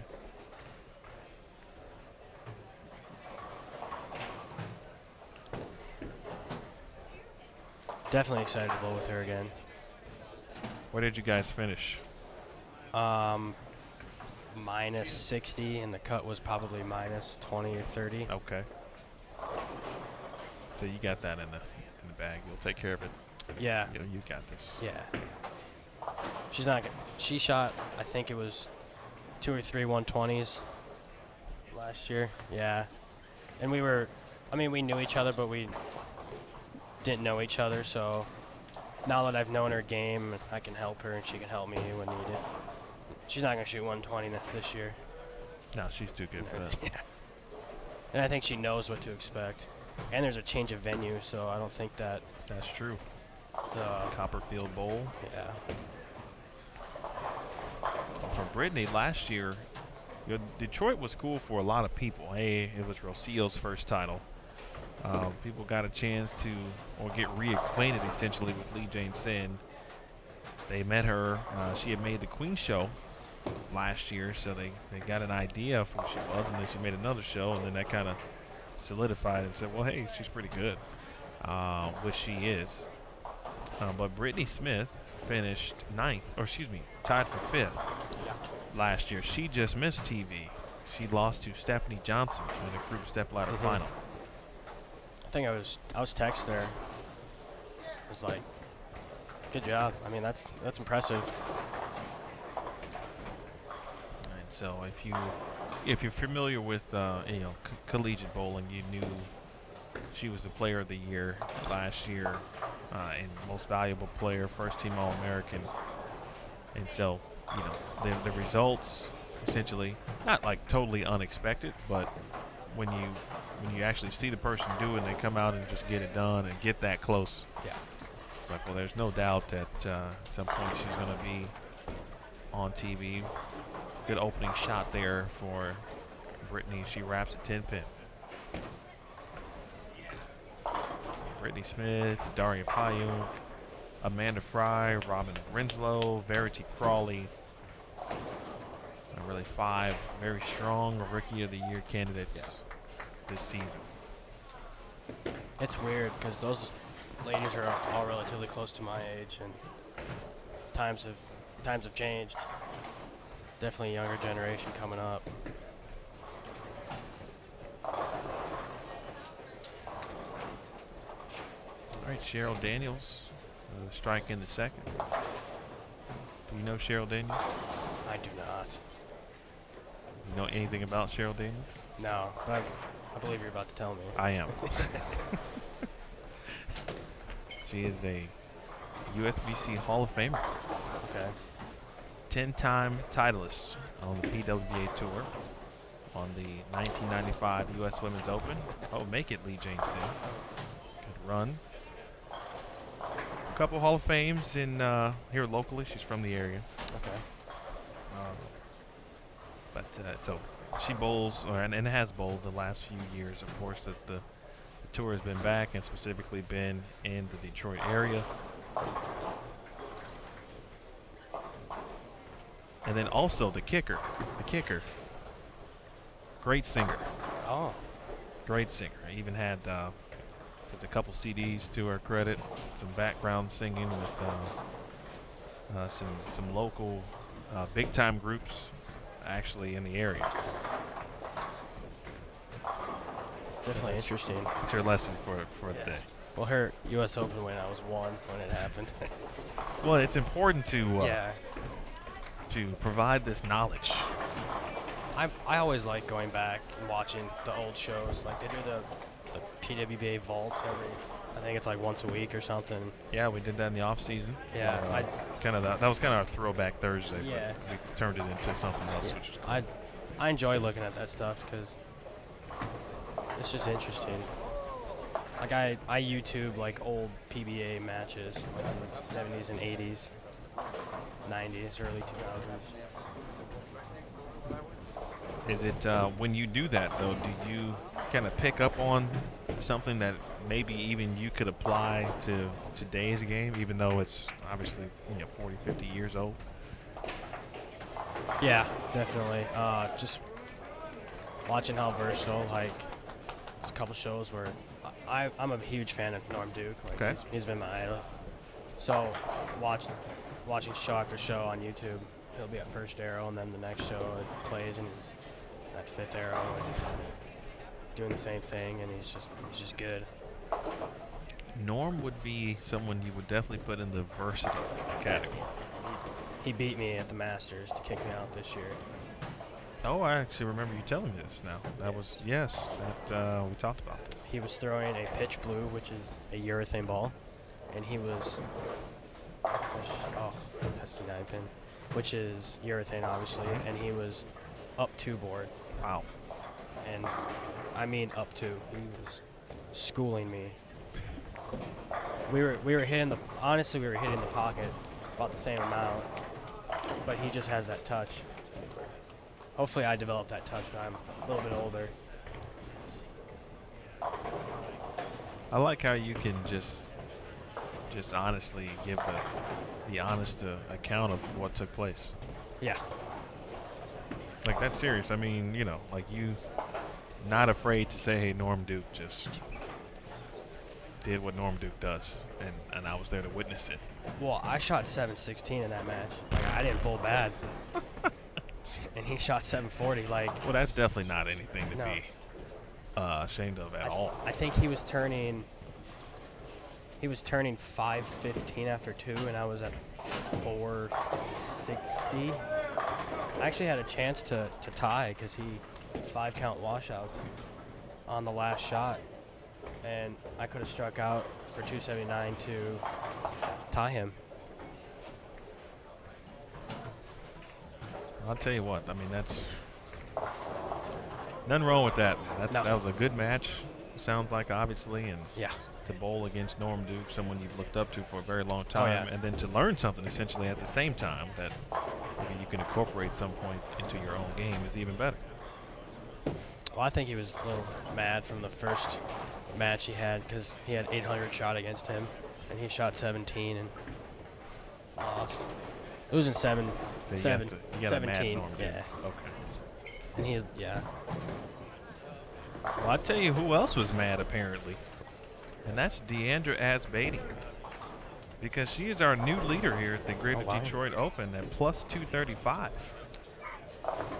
So D, after opening round two with 162, goes 246 and then 298. oh wow, And somehow we, uh, well, it is 60 lane center. Yeah. And we are kind of right in the middle. maybe that the, that screaming was. Maybe, actually, now what did we think about that. I'm sure Jason Thomas got some uh, video of that. Josie Barnes is second at plus 232. Diana Zavjalova tied with her good friend Verity Crawley at plus 204 for third. Jen Higgins is fifth at plus 203. Angie Ramirez Perea is sixth at plus 201. Cassandra Leuthold is seventh at plus 177. Sandra Gongora is tied for eighth at one, excuse me, plus 155. And Siti Rahman 10th at plus 152. Julie Oczepek, local player from the area as well, member of the tour. She is 11th at plus 134. Tanya Roumimper made the show last year in Detroit, plus 127 and 12th. But Natasha Roslan from Malaysia has gotten it together as well. She shot 140 earlier Oh, yeah, I did hear that. at round one and shot 297. Oh. And now 73 over here. And round number two, Brittany Himmelreich having a good day. She is plus 116. The aforementioned Cheryl Daniels is plus 109. And 15th, Nicole Trudell, another talented young player with the Sacred Heart. Plus 106. Shai Hamidi is 17th at plus 103. The cut number right now is plus 51. That is Elise Bolton. Mary McCarthy is 31st at plus 52. Certainly making the charge, as you mentioned. And she's got front three this game. Brittany Smith is 29th at plus 57. Local uh, amateur Brandy Remy is 28th at plus 60.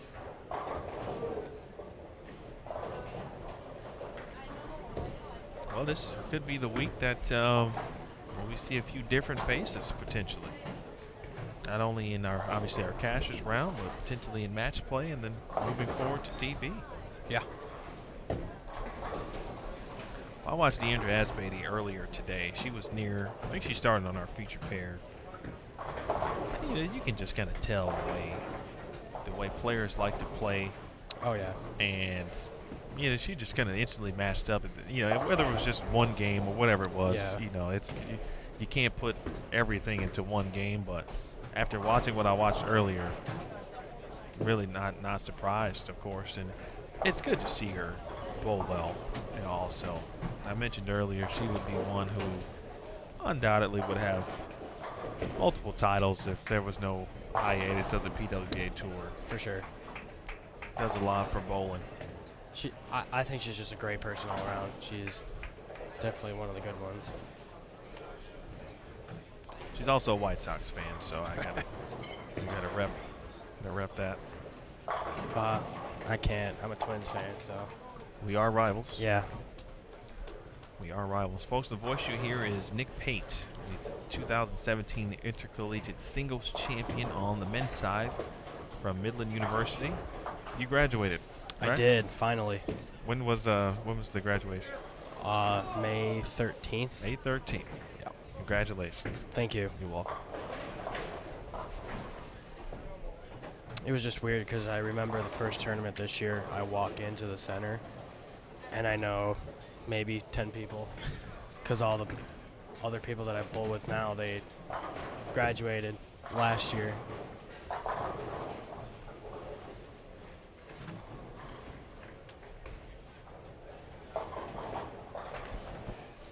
I'm sure all the coaches are happy that I'm gone. Yeah, I'm willing to bet that. I think you created some headaches Yeah. for a lot of teams and a lot of players. Chelsea Barr takes care of the spare bar, former collegiate player. Started her career at Wichita State, bowled at uh, Baker University in Kansas. Speaking of Wichita State, Sierra Kanemoto clean through five. Cheryl Daniels on a double. Kayla Pashina, she bowled collegiately at Nebraska. She's from Minnesota. I know. Her and her husband, and her uh, her brother is very talented. Tried to get him to come to Midland. Chose different paths, which is fine. Erin's got front four. She's gonna make a charge this block.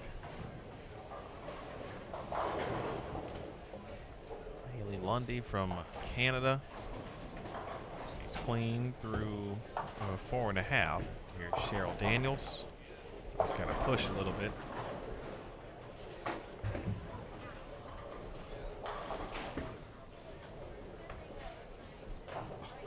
The jinx. Just as I say it, it was indeed the old broadcast jinx there. My apologies, Haley. Good shot by Sierra. I'll tell you, Li Jane Sin, this is uh, the most opens I've seen from her in Yeah. literally, literally three weeks. Yeah. All right, Missy Parkin.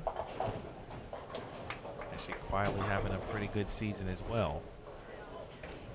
This is about the halfway point. Yep. To kind of be officially that that way once we get uh, through the players next week.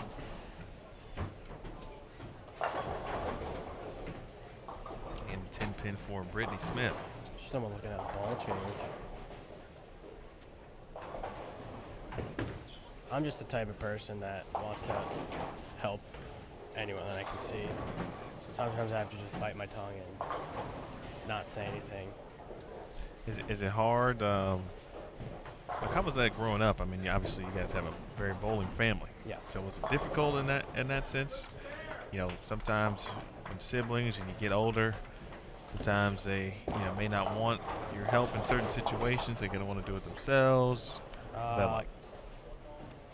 My sister was definitely tough at times, but it changed when I went off to college and I got that collegiate experience, and then she trusted my abilities more. But the older brother and younger sister sort of feud, if you call it, definitely got in the way at times.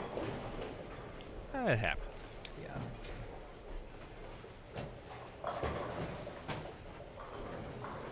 Well, I certainly fully expect to see at some point, if she chooses to do that, she's already bowled a few, like the Queens, for example, Yeah. Um, make her way out on tour. Mentioned um, Diandra Asbaty shot 298. And check that video out. It is on the PWBA Facebook page.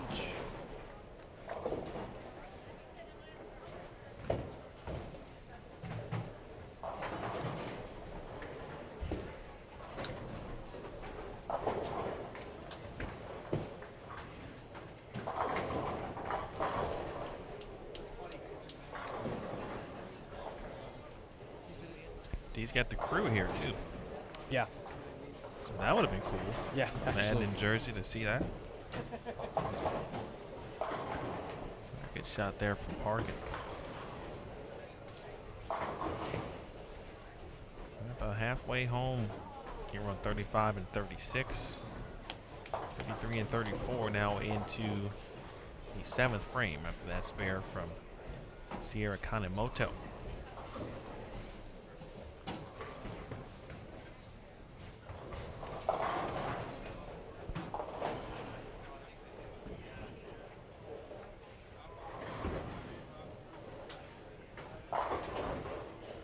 Hey, Brad uh, Littlejohn is listening. First of all, hello, Brad.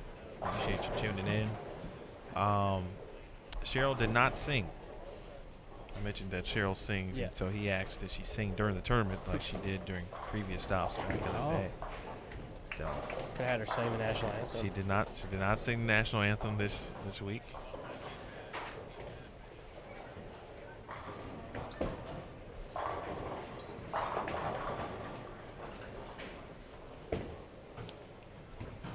I think they're definitely bowling a lot quicker this second block. Is that sometimes, you know, obviously when when there are a few more strikes being thrown, the pace seems to be a little quicker, of course. And what's that, a seven pin yeah, there? light seven. Like seven for McCarthy in the sixth frame. But uh, is there anything other than, you know, more strikes being thrown in certain situations that you've seen or maybe experienced in in uh, your your times of bowling? Uh, definitely more strikes makes the pace go faster, but another thing is going when it's your turn. Definitely speeds it up instead of taking, you know, the extra 30 seconds or whatever. They add up. Yeah, they do. Oh my! That was a hard seven pin. Wow. Well, that's the worst thing you want to see when you trying to get through a game, going through a few struggles, Yeah. and then the I- seven pin does that to you. She's been bowling next to Erin all day, so I've watched her pretty much all morning to a little bit this afternoon. She's been struggling with some pin carrying, wrap tens, seven pins like that.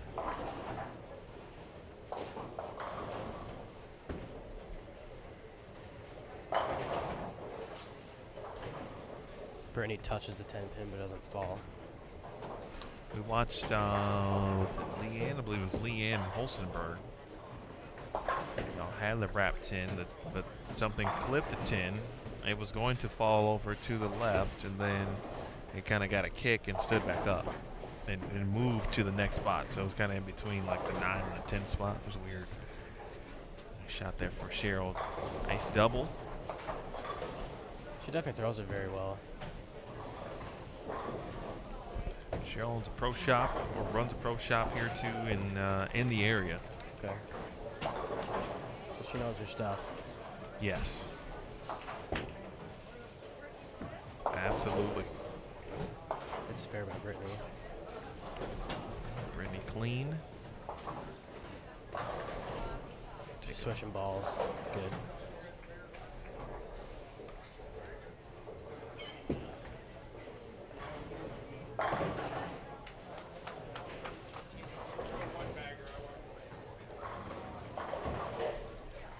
Jane Sin minus 38. Again, which is odd Yeah. to see at this point, especially considering her first two weeks. One week, uh, Wichita, she dominated match play. 200 over. Oof. That's hot. Is that with bonus?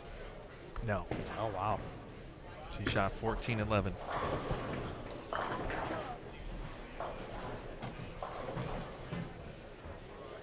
Erin back on the strike train. This will be a good game for her.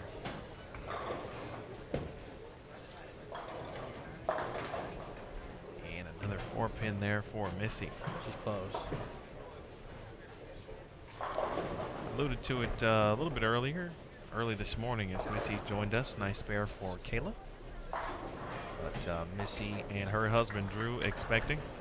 Yep. So congratulations to the Parkin family.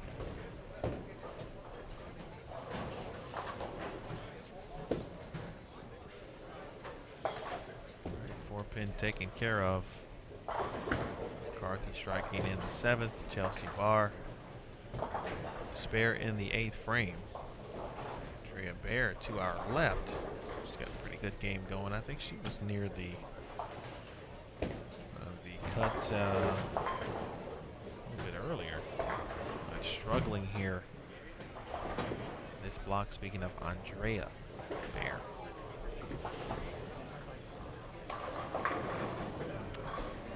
Okay, so she's in line. She's playing like the old school fade.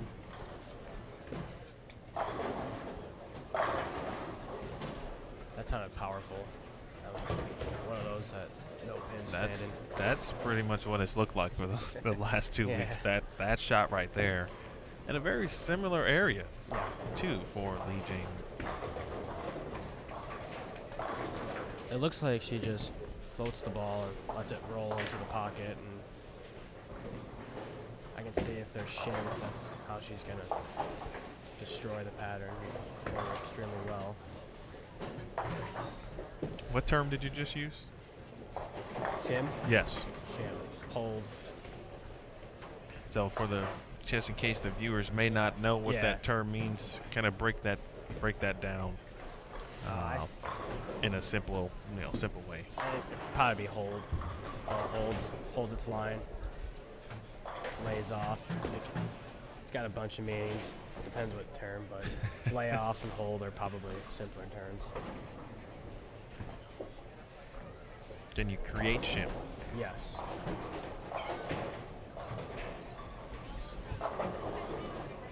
Should get another one. I believe so. Well, McCarthy and closer to what could be at least 250 at this point. Yeah, That was a pretty good shot. that was good. No four pin. See where Missy is in the standings. yeah, she she struggled this morning with some ball reaction. I was watching her. Rocking minus 69. As you mentioned, struggled a little bit earlier. To uh, 75 under. He came out shot 266 in round two, and has followed up, unfortunately, with 170, 170. When I was watching her, I was thinking of the ball that she would need, but I didn't say anything because I obviously I don't talk to her on, a level like that. And then she comes out the second block and she pulls out the ball that I was thinking of, and then she goes ahead and shoots 260. So my hypothesis proved to be correct in that instance. Well, that's good. It sounds like that's Yeah. a sign of Yeah. A, knowing Yeah. knowing bowling, knowing what you're doing. Uh, B, I, I I would believe that uh, you guys share some similarities in regards to uh, ball companies. Yeah. So you, that means also you know that Yeah. you know the equipment Yeah. as well.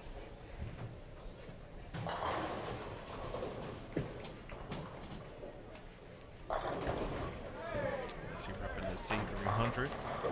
Wearing one of my favorite jerseys of hers. Always kind of makes me feel that no matter what's happening, there's a beach somewhere with palm trees and sun.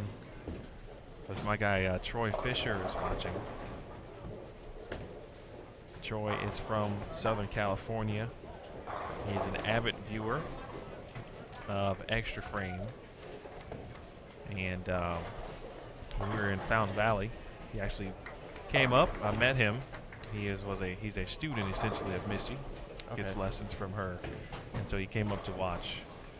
But uh, so when I talk about palm trees and various items, he told me it was going to be in the, the mid 90s or something like that earlier in Southern California. Oof. Yeah, that's hot, but Yeah. if there's a palm tree, I feel like it doesn't really matter. Although there's a few palm trees in Vegas, and that's it's hot.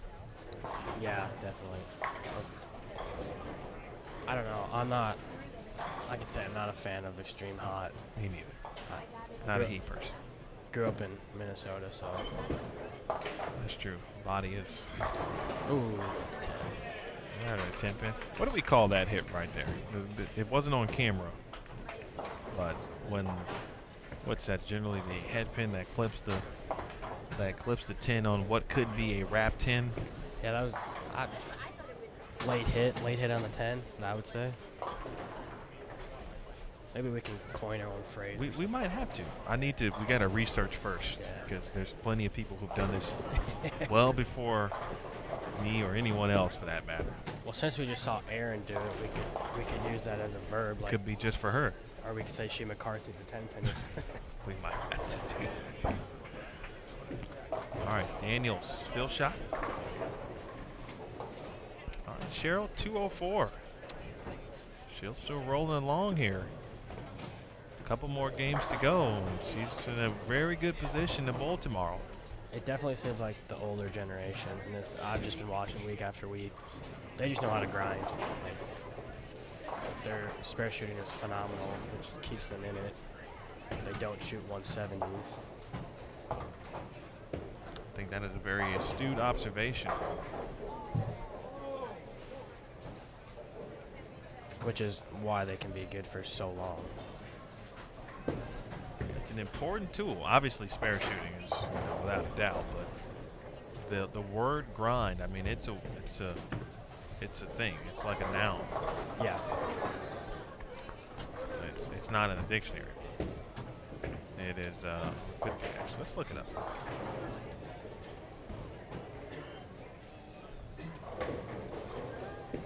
Sorry, I didn't think so. Generally, when you're grinding, it's you're doing something, but it could be like a noun because it's a yeah. boom, like that was a grind.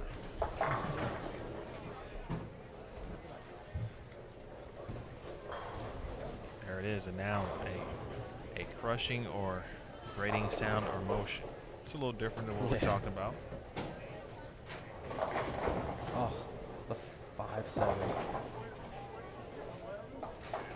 The five slid over. It's at the four and a half spot for Missy. Definitely wants to obviously make it here. She can shoot 203 if she gets one, but in a game like this, Yeah. she left a couple four pins that really have uh, stopped some momentum in frame Yeah. six and seven.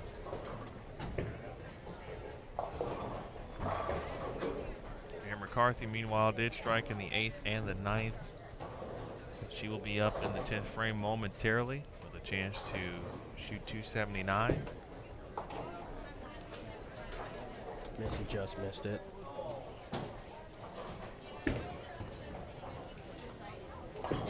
Two oh two for Missy. I feel like that was one of those games that you threw it better than a 202. Absolutely. And those games are demoralizing, is what they are. They just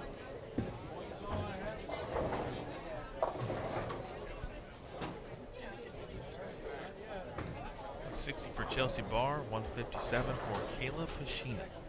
All done on 33 and 34. Kanemoto shoots 184. Oh, late hit on the seven.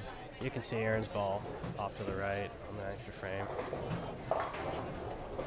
Caved in the pocket there for a strike. Good break for Li Jane Sin. I mean, if she strikes out, that's 180. That's a pretty good score for having 46 in the, was that the fourth? Yep. Megan Makunovich, 162. Saw her practicing last last night.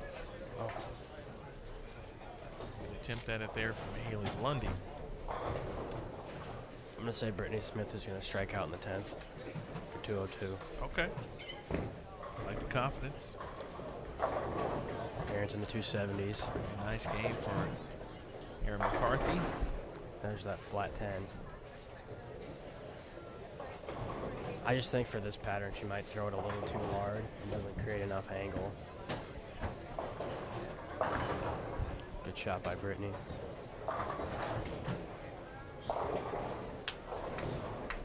Or she's playing too close of an angle at the wrong part of the lane. I feel like if she move, if she wants to continue to that, she could probably bump left and, you know, roll it over 19, 20, and have her break point be 12.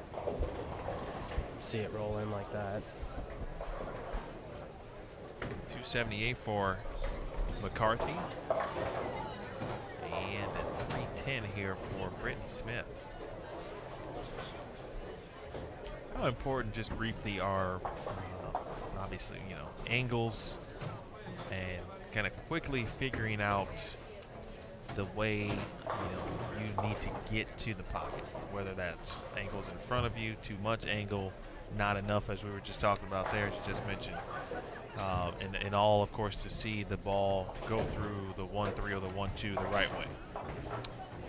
Uh, angles are definitely important. Um, honestly, it's pretty much your pin carry. Your, your angles kind of dictate your pin carry. If your angles are too open, sometimes you're in a flat 10, your ball's not storing enough energy.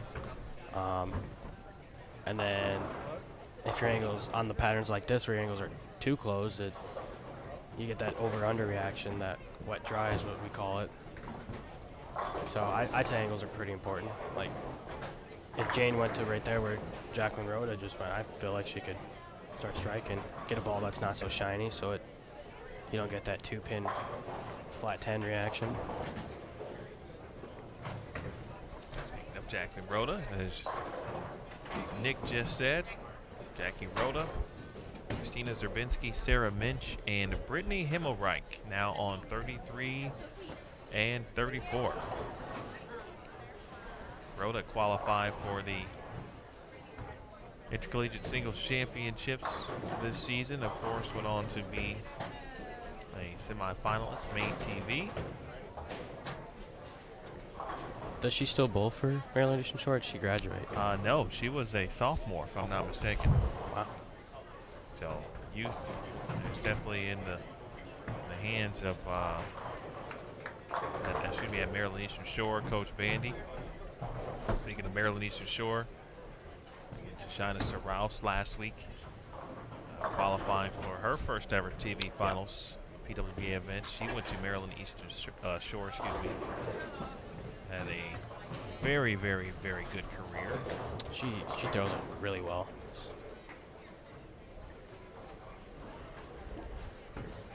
Rare miss there for Christina Zabinski, another Maryland Eastern Shore alum, who also had a very, very, very, very, very good career at UMES. Did Christina Bowl back in the th- those dynasty days, if you call it, like when they won all their championships? Uh, I'm almost positive that she did do that. I think she was on the team that won, uh, that did the, It was like back to back. I think it was Yeah. like 2010, 2011, if I'm not mistaken.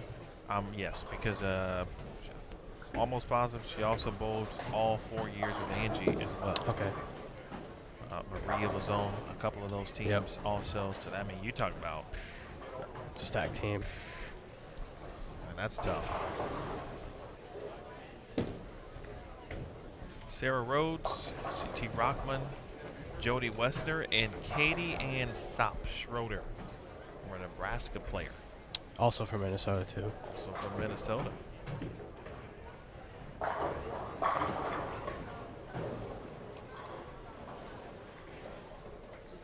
Our guest in the booth is Nick Pate. Anyone uh, has any cool questions for Nick? Some that are, of course, bowling related. And G rated, if you will. No, I'm just playing. Feel free to uh, drop them on a uh, live now post. It's the live now post that says round two qualifying on Facebook.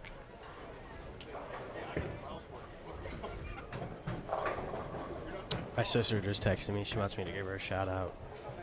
So I guess I gotta Come on, Lauren. gotta give a shout out to Lauren. You can't be texting Yeah. asking for shout outs, Lauren. I used to do it to Erin all the time when she would commentate on this. Name drop me just randomly. And, and look where you, you go. look look where you are now. Yeah, I've gone to be known as Erin's friend to, to my own name. Could be Lauren's brother. I'm definitely Lauren's older brother.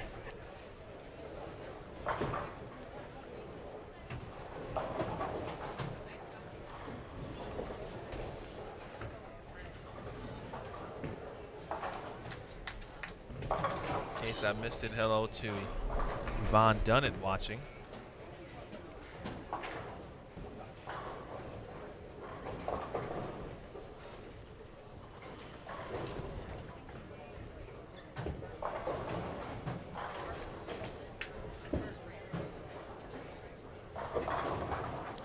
Feel a big game for Jody Woessner here.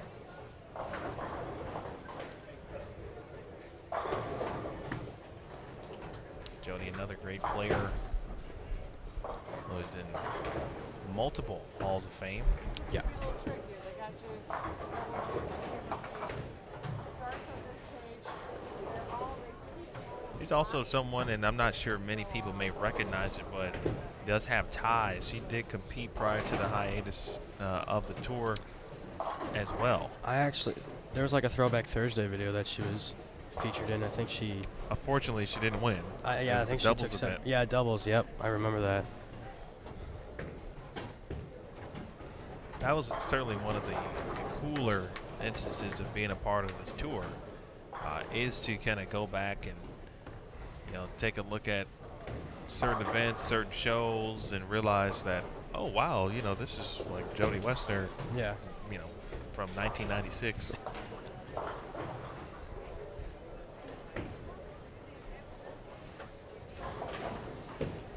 Well, at least we know Nick Pate though is on social media and paying Yeah. attention to PWBA social. Thanks, Nick.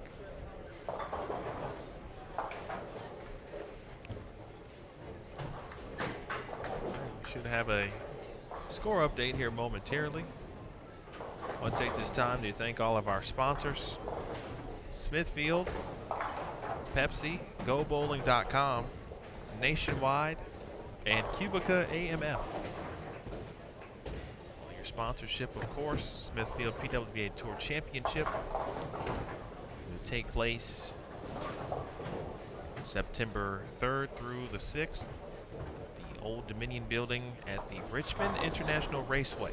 So I think that's really cool. it's a big deal this year. Yeah. It's a big deal every Oh, year. wow. Let me That was an interesting seven nine. that was a terrible break, by the way. But uh, part of NASCAR, the NASCAR festivities and the race, essentially that weekend. So we've uh, got some cool things planned. Every week, essentially, players are on the road to Richmond. Yeah. Are they uh, for the people that qualify? Are they giving out like duffel bags with goodies inside, or? Yes. So if you were, uh, well, you weren't here last last week. Oh, I saw the, I saw the pictures and Yes, each player that will that ultimately qualifies for the event will receive uh, one of those swag bags. that's that's kind of cool. I like that. So it's uh, you know, obviously it's a nice gesture, of course, and Yeah. you know it means something. Oh, uh, absolutely. This is it's our uh, it's, it's the season-ending events, and everything that happens during the season is really a precursor to Yeah. that event.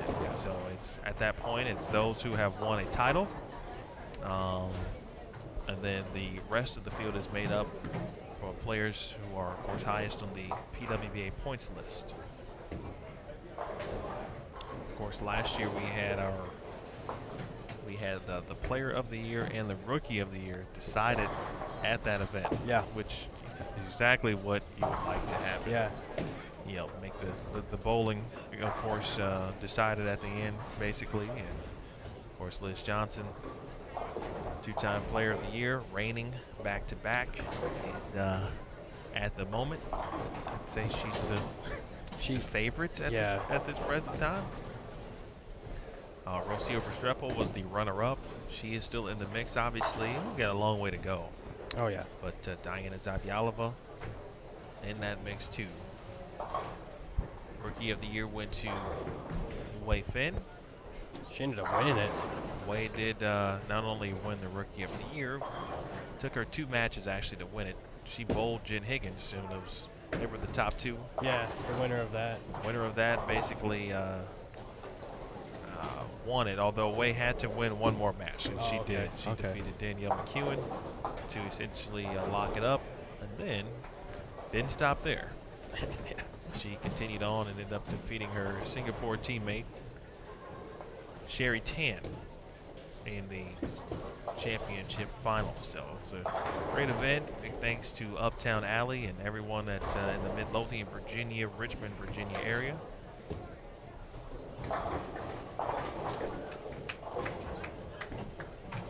Katie Ann just nine pinned after leaving the seven nine. That's back to back bad breaks. That tells me that her ball's not stopping in the correct spot. Hmm. Either I would first I would move left. I like to do one thing at a time, so I'm gonna move left, and then if that doesn't work, then I'm probably gonna ball change. Okay. How confident do you have to be? We, we see it all the time where, and it depends on the situation, but to make um, either approach moves, moves with your eyes, move with your feet, both, or you know, ball changes. Like, is there a, do you have like a checklist? I mean, is it like boom, boom, boom?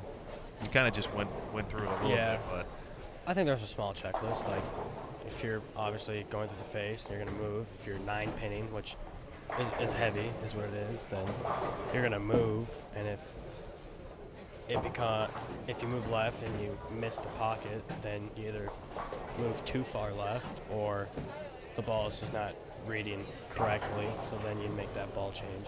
You have to do it confidently, especially out here. Because if you're not confident in all the moves you have to make, then honestly, you shouldn't be out here. That's a fair point. It does take a certain uh, amount of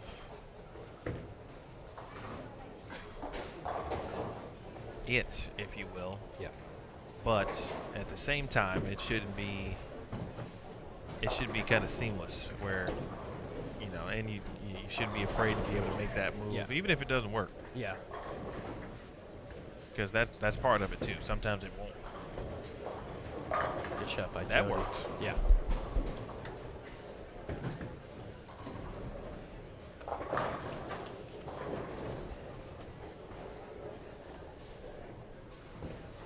Woessner, Sarah Rhodes, Siti Rahman, Katie Ann Top Schroeder, Christina Zerbinski, Sarah Minch, Jackie Rhoda, and Brittany Himmelreich. Erica Heibel has gone double spare three bagger. She's paired to our left on 31 and 32. Let's take a look at our standings after 10 games. Another new leader. It is Diana Zavjalova. She she's good. I'm gonna pick her for player of the year. That's not a bad pick. I she won the Queens and she's It's not a bad pick, she is man. definitely on a roll. All right, you're in the books for Diana Z. Diana. Okay. Running total here. Um, she has gone 225, 224, 253, 256. Round two. That's that's pretty good. Plus 260. Second, Josie Barnes, plus 241. Josie just continuing on. Finished the day, or uh, excuse me, finished round one earlier with 278, 240, 190, 217, 209. Still at plus 241. Diandra mentioned she shot 298. Game three of round two here this evening. She's at plus 240. Angie Ramirez Perea is fourth at plus 215. Verity Crawley is fifth at plus 208.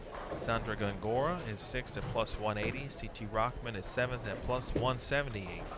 Jen Higgins is eighth at plus 173. Juliana Franco who will make her TV debut in Wichita as plus 166. Natasha Roslan is 10th at plus 164. Erin's in 15th after that 270 game. And there she is, indeed, at 15th. Talk about being out of the cut to 31st and now to 15th. I think for someone like Aaron, you don't even look at 32nd. You look at 12th, to be completely honest, because of her talent level. So she's 20 pins out of out of that. So Well said. Strepo is the cut number right now for the cashers round at plus 43. Shannon Pluhowski, 33rd. Brittany Ferrara was uh, plus 36. Player at uh, Notre Dame College of Ohio. Bowling well and got a chance to for some extended bowling. Elise Bolton is 35th at plus 20. Summer Jasmine would be the final cashers uh, cut today at plus 18. Again, this update is after 10 games. To check that out and more, be sure to visit pwba.com slash live. Get uh, your round one, round two qualifying results. We'll have, of course, everything you need tomorrow. Your roster is there if you're curious, along with uh, the pairing sheet to see where players are. And, of course, the oil pattern. how many people are close? Plus, right now, is 37. 37 people and uh, 36 cashing spots, essentially. So, Danielle McEwan's plus 84 on his block. She's she's making a run.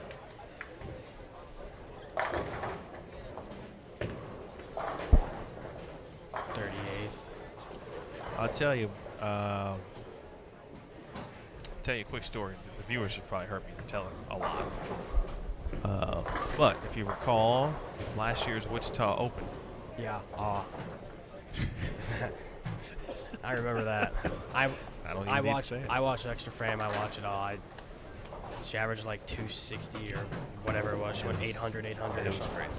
So, 750 to make it, yeah. 820 Yeah. to open up match play.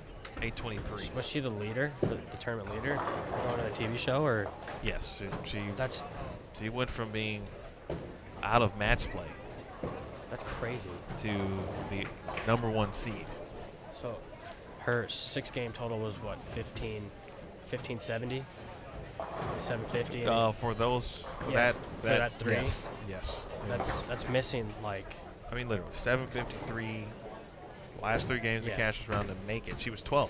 yeah. She finished or uh, ended up 12, and then 820 to get to first, basically. That's that's missing like less than ten times in six games. Then threw in another 276 in game four. Yeah. Just just for it was amazing.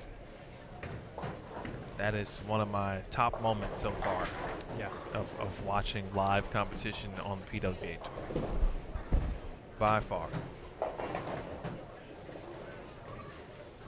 I saw something her significant other did pretty impressive last week. What did he do? He went front 20. On their, the first game, it was Marshall, uh, Dick Allen, and Jake Peters. And Dick Allen was low on that pair. It was three sums at 276. Marshall shot 300, Wow. and then Jake Peters shot 279. They shot eight. Was that 855? Mhm. Yeah. I mean, you get some of the best bowlers in the world on a pattern like that, you're going to see a lot of strikes. This was at uh, in Jonesboro or Lubbock? Lubbock. Okay. In Jonesboro, whew, if you shot 2 2 you were That was impressive. yeah, because I think in Jonesboro, cut for top for match play, it was plus 10 for what is it, 8 and 13 games, Six, 14 games, one of those two. And then you get to Lubbock, and top 12 was plus 332. I made the cut, but I was plus 83, and I was 108 pins back of 16th. Yeah, that's a lot. Yeah, Well, in regard to the significant other, we would certainly put uh, Danielle and Marshall in the uh, kind of that upper echelon category of Yeah. mixed doubles couples you would not want to face. no, I- I'm pretty sure they bowled a Lucy together. Yeah, I mean, if they don't, something's wrong. There's a good shot. looked like she moved in a little deeper. Ball faced up better. All right, almost halfway home through five games. Jerica Heibel still striking. Ninth frame shot. Oh, she 810. Really? Yeah. Wow, just from my view, I can only see the a pin go around the 10, which would look to be a wrap 10. See where Jerica is in the standings. She was close. Jerica minus 19 and 49. Again, cut is plus 43. Again, to get a check plus 18. So she's still got some. Uh, Got 240 out there. she can get there. Certainly, the ninth frame didn't didn't help. Himmelreich has been uh, pretty good today.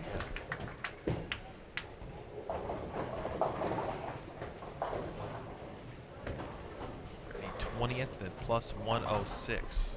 This pattern definitely favors her style of bowling.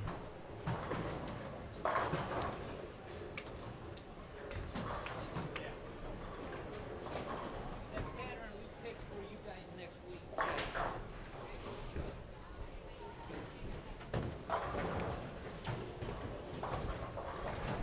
Siti Rahman, Siti Safiyah from Malaysia. On the World Ranking Masters in 2009. Won the Malaysian Open at age 15.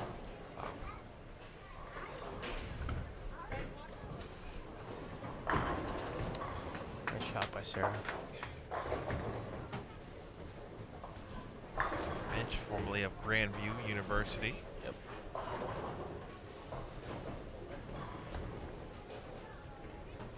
She actually she went to Midland before Grandview. Wow, look at that nugget of Yeah. information. Back in the day.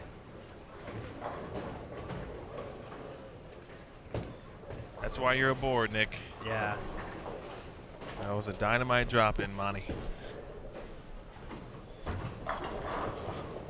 Nice shot by Jody.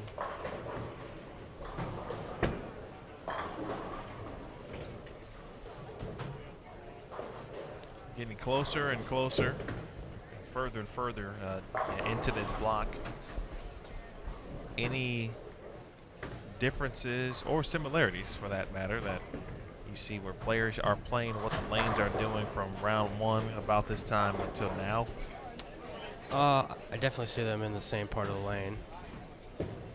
I, I, I said it earlier, but I think they definitely got easier, which is weird because the more you lay a pattern down, the flatter it gets and the more it hooks. But honestly, I don't think that was the case because the cut's been going up a decent amount. My plus 30 has been blown out of the water. I mean, it's, it, it, it, it still looks good, but yeah, today is the day where it, it doesn't look like it's going to go yeah. backwards for a game. Strike for Himmelreich. Liz Kuhlkin. That was like the 710 that got taken on by one pin. One more, she'll be in the 220s.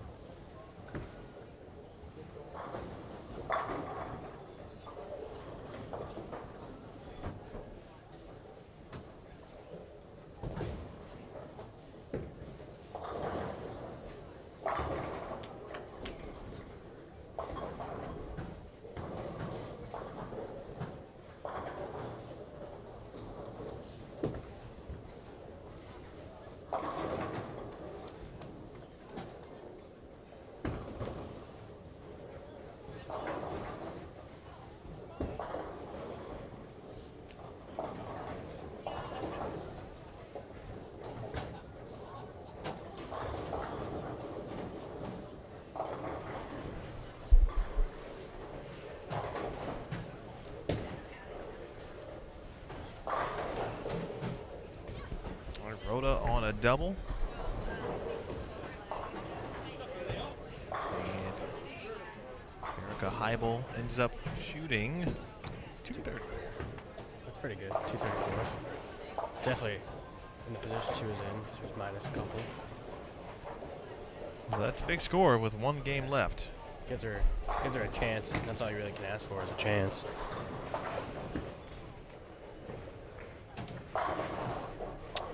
Hard A pin by Kelly. It's wiggling. She had five in a row. No, I don't recall either speaking about or mentioning Kelly's name. There she is, 28 plus 50.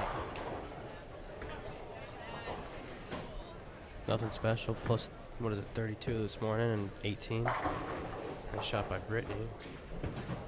But Kelly always finds a way. Just, just who she is. That competitive nature. Yeah, watching Kelly compete weekly is always uh, it's a plus for anyone Oh yeah. because you, you learn a lot, and not even about bowling really. You can just kind of see it all in Kelly, the type of person she is, the Oh, yeah. competitor, the athlete. Uh, and then you can get into some of the things where some of the things she has has gone through in the last year. Really tough ankle injury Yeah. For most uh, the first half of the excuse me the second half I should say of the uh, of last season. I think it started in like Lincoln or something. Yeah, it was about that Yeah. about that time, and um, I remember I think it was it Detroit. She might have taken this week off. I'm pretty sure. Oh yeah. She took this tournament off to to rehabilitate. Uh, to try to be ready for the players, which of course is the following week, and it is again this season. But um, know, prior to this season, she had 10 championship round appearances, six in the relaunch year, 2015. Yep. Made TV four times last year, could not come away with the win. Um, and so she will be on the PWBA Fountain Valley Open on Tuesday. Yeah. Uh, she's the top seed, so we encourage you to watch that, DVR it. Uh, if you are bowling Summer League, for example, on a Tuesday night, make sure you set your DVR, of course, and uh, I think you will enjoy that show. Yeah, for sure. All right, Zerbinski. Struggling a little bit here. Yeah. Gonna shoot 140. You can See you on your screen there talking with Del Ballard. Husband John is here working. He is working on behalf of Storm Roto this week. Nice shot by Katie. She figured it out. Got left, threw a four bagger. Is it is it what uh, Oh, you- wow. you, talked about? Look at that leave on 33. Two, Whoa. four, s- what is that? Two, four, five, seven, ten. That is correct. If my uh, old teammate Casey Maxton's watching, he left that at sectionals two years ago.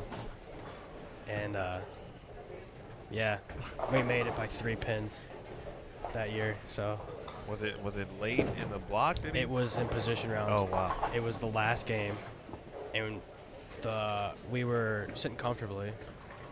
Gonna get it. Oh, Shot at it from Jackie. Well, that's just a terrible break in a 10th frame. We were comfortably in like third or fourth going into that, and then we. Uh, we were shooting 180s, 190s, but the the fifth seed was close enough, and they were shooting 220s, and their last game they shot 250. Wow. So, yeah, and then he left that, and then and it was the he was a lead off, so it was the sixth frame. So luckily we had the other teammates to pick him up. But to definitely appreciate that I gave him a shout out for that lead.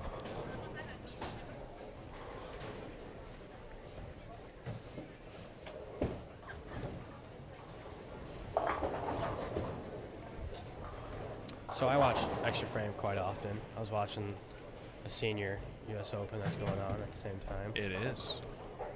And then I saw a snippet that uh, Tom Clark posted of Brian Voss and Pete Weber that I thought was very, very interesting. Uh, it was a reaction that Brian Voss did. Have you seen it? I have not. Uh, Pete threw a Brooklyn Mhm. and tripped to six. Honestly, at that caliber of level, that's going to irritate the opponent. Brian Voss reacted by throwing his rosin bag. Yeah, and then he wiped his ball and threw his towel, and then proceeded to nine pin. Well, that's just a lot of bad right It is. But sometimes bowling needs that. Yeah, it, it's. Uh, where did you see it? I'll have to go watch Uh, the Tom Tom Clark uh, commissioner page that he Okay. has on Facebook. Okay. It's a little snippet.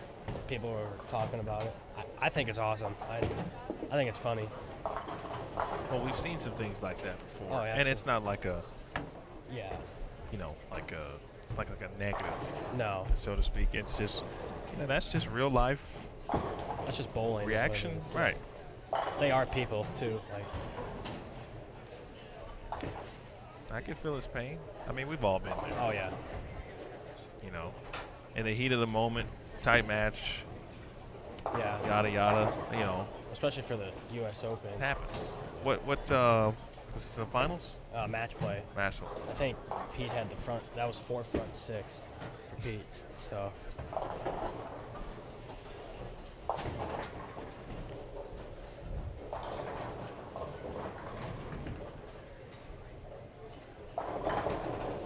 got the seven nine out for two thirty. All right, Brittany Himmelreich continuing to add to her total. That'll be plus. Uh, 140. I think was 106 up. yeah. Very nice. I keep up. I'm This guy. yeah. I keep up with everything.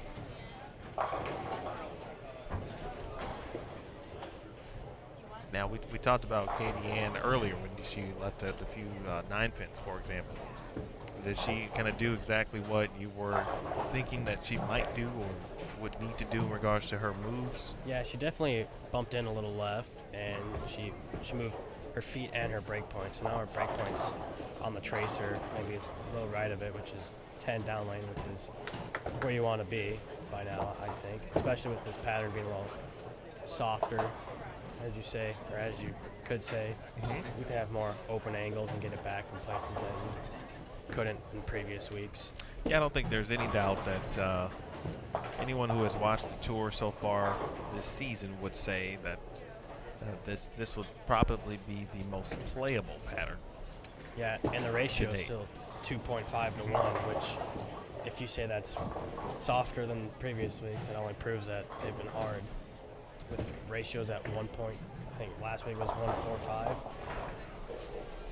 And, and it's no doubt about it. I mean, it's you know, that's talking about it and uh, forcing players to kind of you know almost not necessarily give a full reevaluation of their game per se, but there may be some areas that are uh, are are being uh, there's a light being shined on Yeah. certain parts of someone's games, for example, and those are the things that people are wanting to work on during the week, improve upon.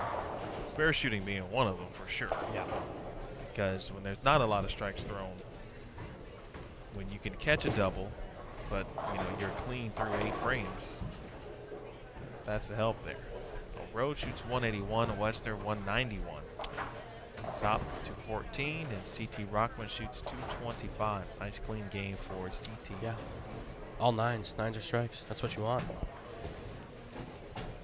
All right, we will end the day with uh, Josie Barnes, Natalie Cortez, Christine Johnson, and Leslie Brown. So for Nick, we just uh, we just we just made your night. Did we? I, I didn't plan it this way. I really I really didn't.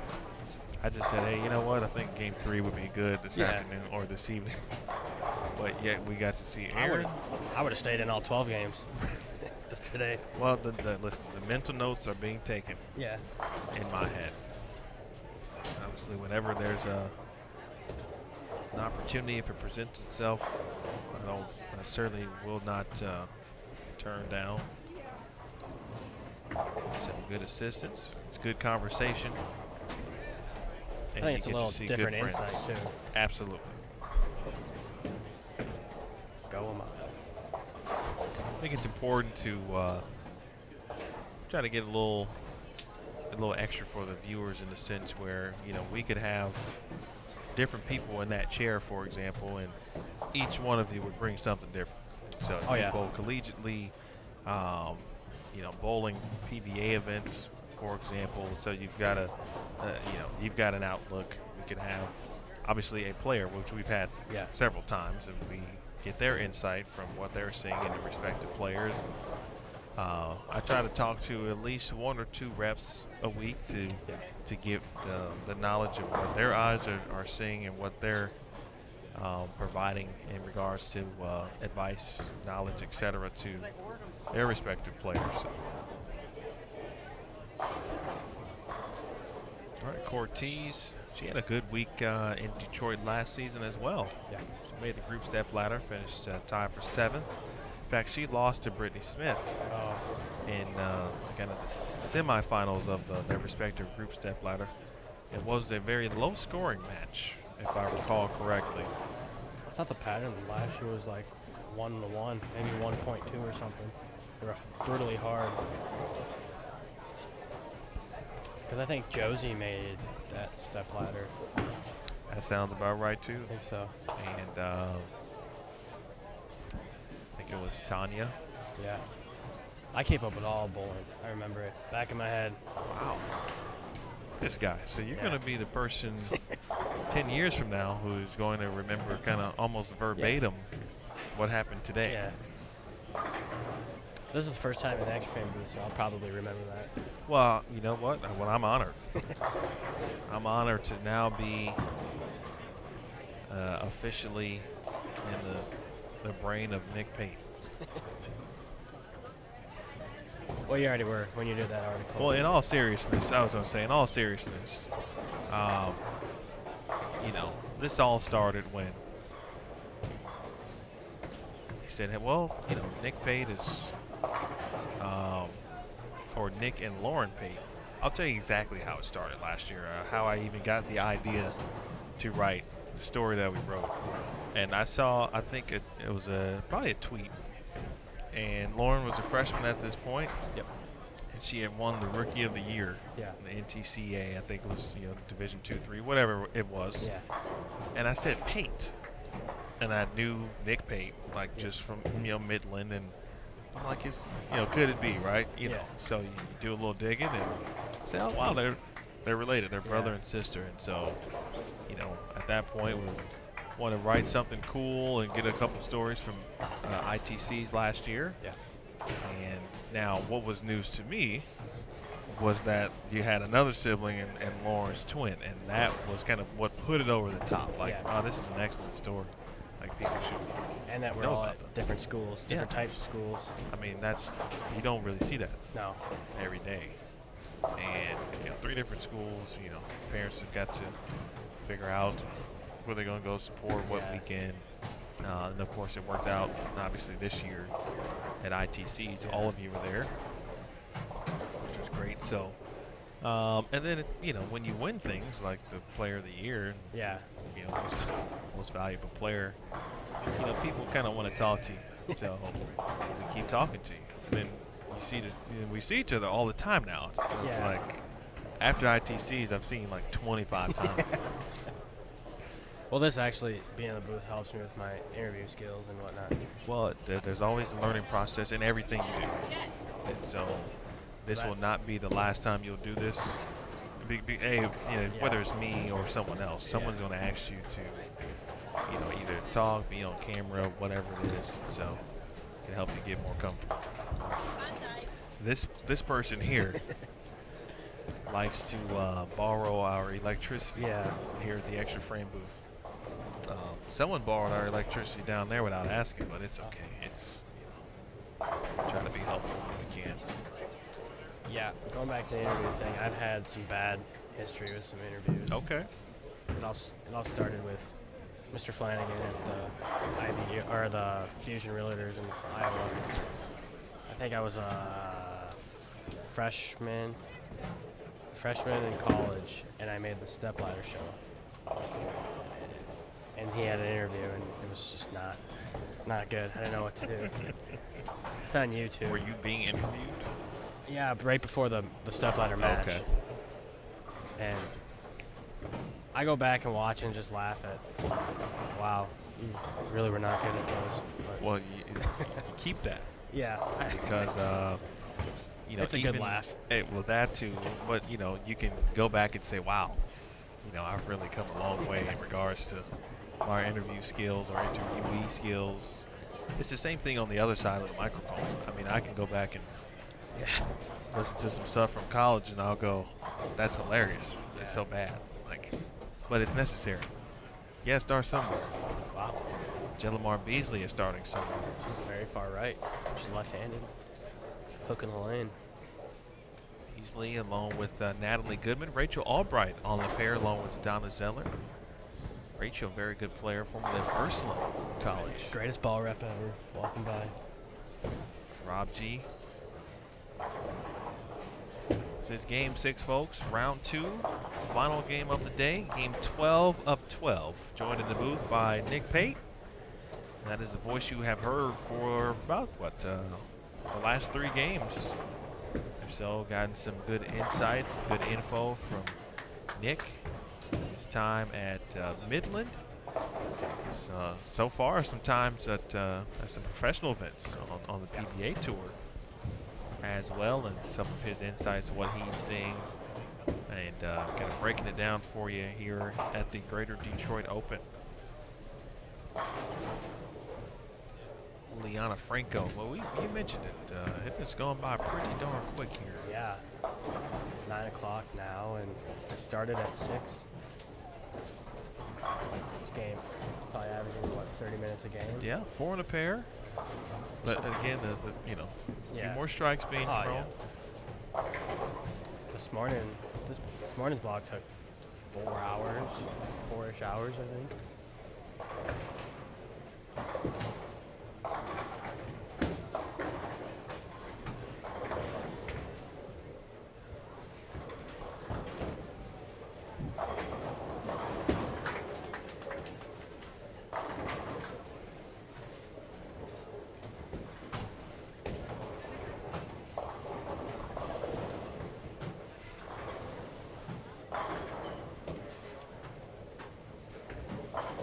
Oh, 710 by Maria.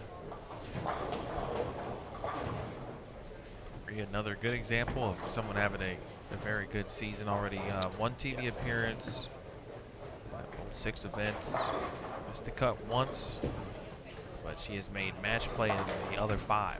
It's pretty good. And so that keeps you up, of course, top of the leaderboard in regards to the points list. Because, you know, from really at this point, um, it, it, it's of course it starts from the from the first week of the tour, but like we say, about halfway, and so really, the points list starts to become uh, very important.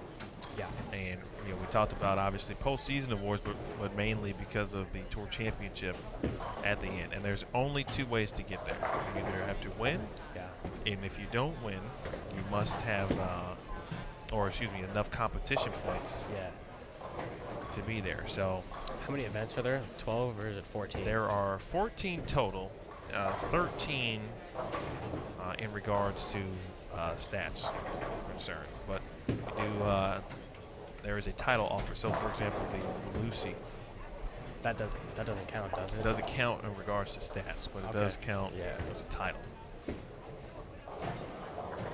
So, Wow. yeah, real yeah, that was a bucket right there. Caved it in.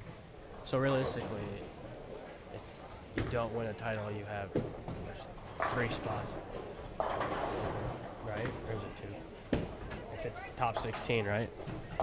Top 16. If there's 14 events, 13 count. Each one gets a title. Well, there's 14 including the Tour Championship. So if we not include that, uh, so there's 13. 13. And yeah, So they got three spots to battle for. Well, that's if you have multiple winners. Oh, okay, yeah, that helps too.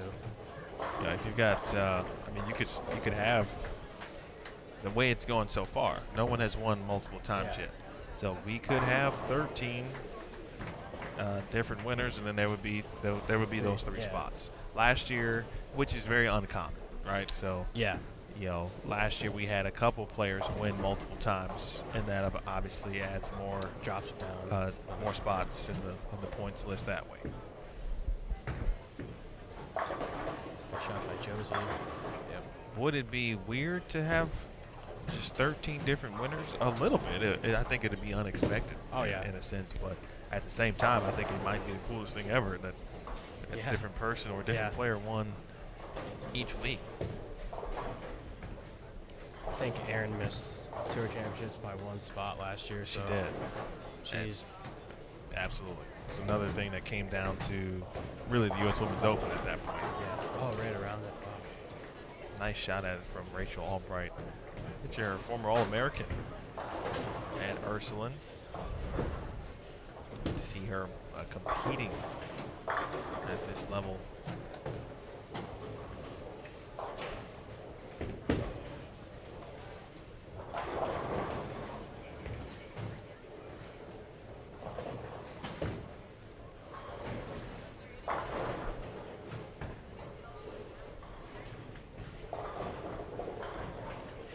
Last year averaged 202 collegiately, That's pretty good. 30.715 on the average differential, which is uh, that's always Yeah, that's what they look at the most.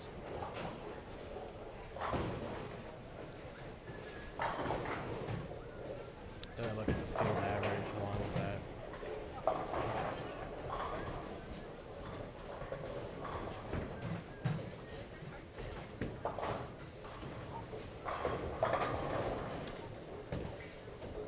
All right, here we go. After 11 games, here is your results and updated standings brought to you by Smithfield. Diana Zavjalova, first, plus 295, just continuing to, uh, wow, was 200 over. almost for five games. It's 193 to this round. Plus 295 overall. Diandra Asbaty is second, plus 265. Josie Earnest Barnes is third at plus 220. Jen Higgins is fourth, or should be tied for fourth. Jen Higgins and Siti Rahman at plus 203. Angie Ramirez Perea is sixth at plus 194. Juliana Franco is seventh at plus 188. Verity Crawley is eighth at plus 182. Liz Johnson is ninth plus 179.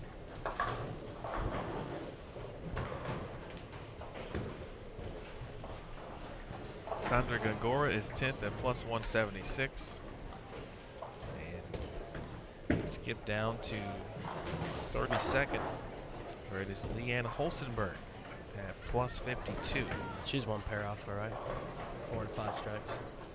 All right, so looking good for Leanne. and Brittany Smith is 33rd at plus 49. Strepo took a dip after shooting 205. She's at plus 48. And 34th, Brittany Ferrara, the amateur, plus 38 and 35th. Elise Bolton right now holding on to the final casher spot at plus 18. Pluhowski hovering around the number at uh, in 31st at plus 54. Summer Jasmine is 30th at plus 57. Who else is here? Uh oh, Cheryl Daniels, SBC Hall of Famer. Shot uh, 168. Game 11 and game 5 here in round number 2. She is plus 81, so. So Cheryl doesn't uh, weigh any sticks here. She can remain in the cut and some extended bowling tomorrow. Another amateur, Brandy Reaming from, uh, she's from the area, Livonia, Michigan. She is 22nd, plus 96. A shot there from Natalie Cortez, Carolyn Dorin Ballard, Sydney Brummett, Daria Pajak from Poland has the front seven. And she is plus 79 and 26, so Oh, yeah. looking like she's going to be in good shape as well. Kelly Kulik shot 259. Game five to move to plus 109. There McCarthy, is. 17th, plus 115. Jed Julio Chepik, Karen McConnell, Brittany Himmelwright, Syaidatul Hamidi, and Tasha Roslan all in the top 18. Again, check your results out, pwba.com slash live.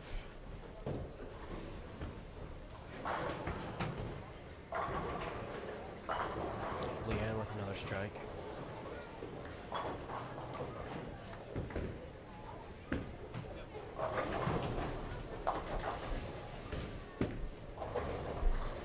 Hulsenberg again off camera. Uh, the first pair to be done is going to be 21 and 22, looks like. Liana Franco shot 207. Maria Jose Rodriguez shot to 179. Maria was plus 101. She will lose 21. I think she'll still be okay. Looks at the moment. Missy Clue, who bowled very well at the Queens. Yeah, she did. She's 42nd at plus one. Only looks like only got to 201. That will not be enough this week unless something crazy Yeah. happens here in this final game. Daria Pajak. Bet you she's got the front seven. She is up now in the eighth frame. It looks to be on lane 28 and front eight. 10 in the pit. I think that's the first non-nine Josie's left that I've seen. It's five. Great church for Josie.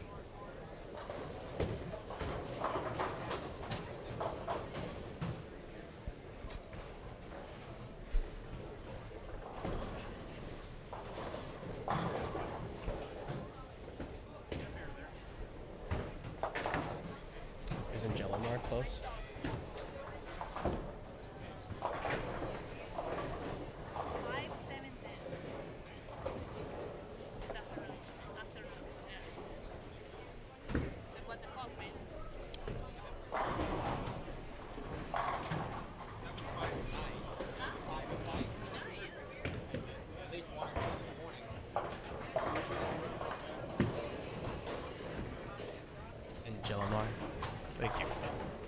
sidetracked. Oh. Omar struggling this week. Ah, uh, was it last week? Pretty sure last week she did make the cashers round. Snuck in at 32nd. It might have been Wichita. Get it mixed up at this point. Elmore's such a talented lefty. Yeah. She won that women's regional back at the World Series two years ago, I think. Yep.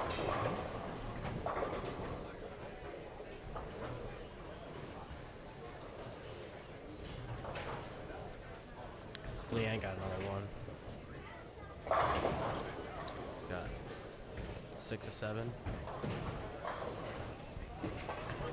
Hulsenberg again on the way. They shot there from Albright. Stones at seven. Barnes gets one to go in the ninth. Could it be Diana Zavjalova at the front 10 or Daria Pajak?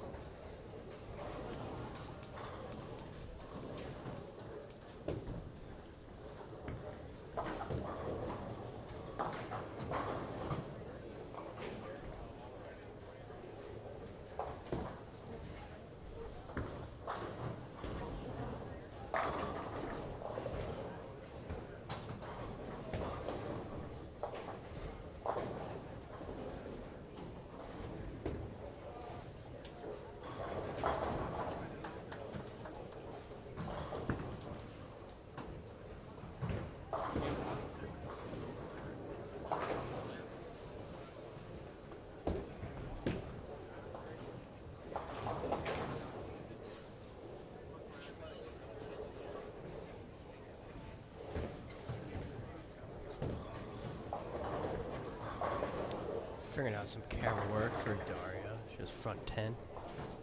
Try and catch it live.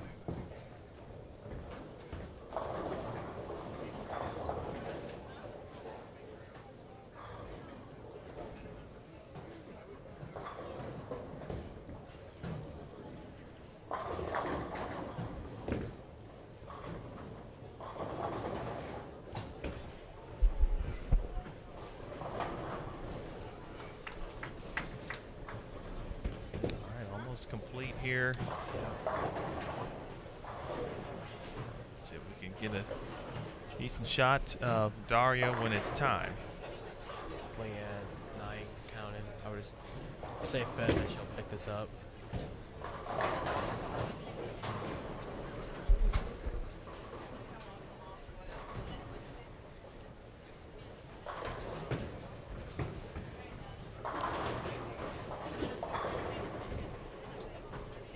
Yeah, they're getting to the point where they were tricky. I think they stayed pretty decent for a game longer than this morning. Like Josie shot, she five counted and then probably moved left and it missed the head pin.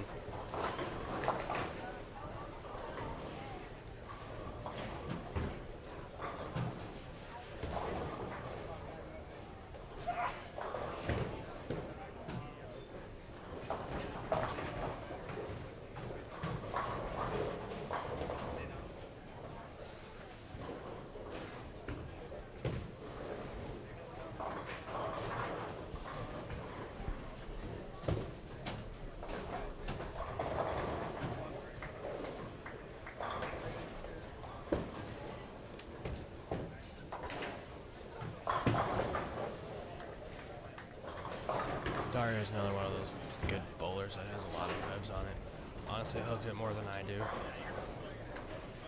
Yes, her her physical game is certainly one.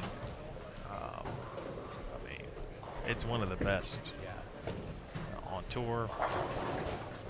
For her, we had a good combo this morning, and basically kind of resulted in uh, just talking about the experience, gaining more experience. Let's go to Daria now, as she has the front nine, looking on 27 and 28, I believe. She liked it. shot front 10 but uh, just gaining the experience and you know watching other players when they're struggling you know, sometimes you can't tell if they're struggling they, they Yeah. very calm still and kind of keeping the anxiety levels down keep the heart rate down so bad habits won't creep up Well, it's just eliminating all those variables that can affect your score.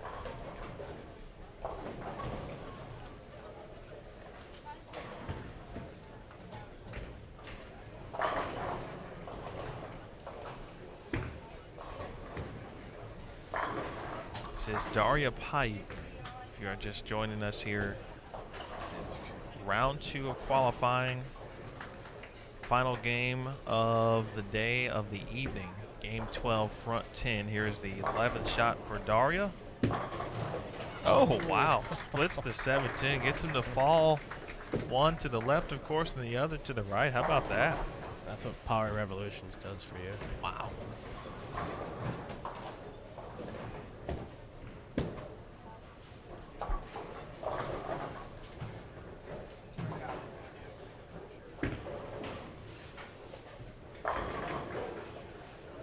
Say she gets it. This will be just the second game of the season. Pajak. Go!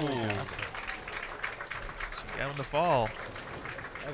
I saw 4-8-10 there for half a second. So we've had 297, 298, and finally a 300 game. So congratulations to Daria. Will that putter at? 200 over? Let us find out.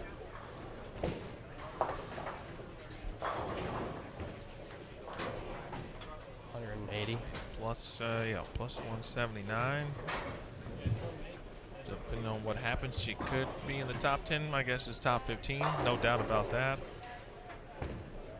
Definitely a confidence booster too. Yeah, I think yeah, exactly. I, you know, to everything she talked about this morning, and she said practice generally goes well for her. Like she Yeah. has a good look most of the time during the practice session, but it's everything kind of after that. She was trying to get in, right? She was trying to stay in there.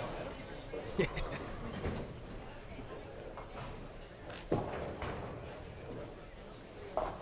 Yeah, this week uh, plus 79 was could be out of the cup. Yeah, Last week it led around. for sure.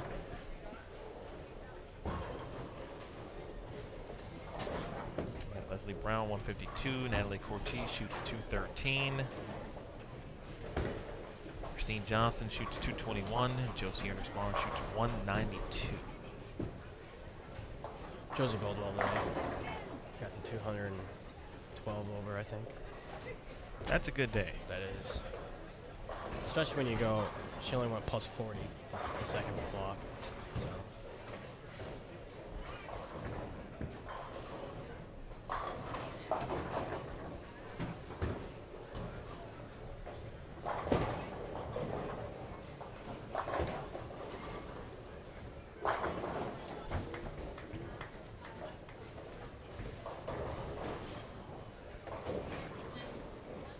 Hopefully Erin bowled well. She's too far down.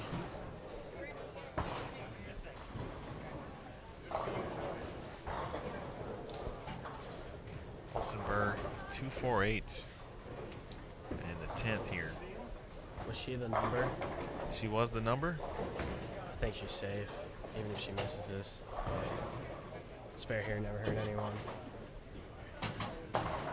She's at 220 currently, which would be plus 72.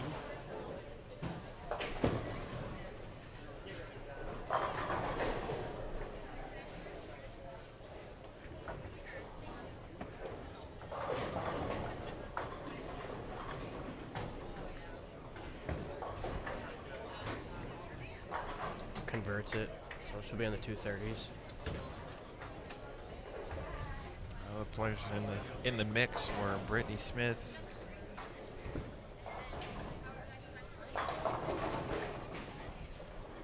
Shannon Pluhowski was uh, 31st.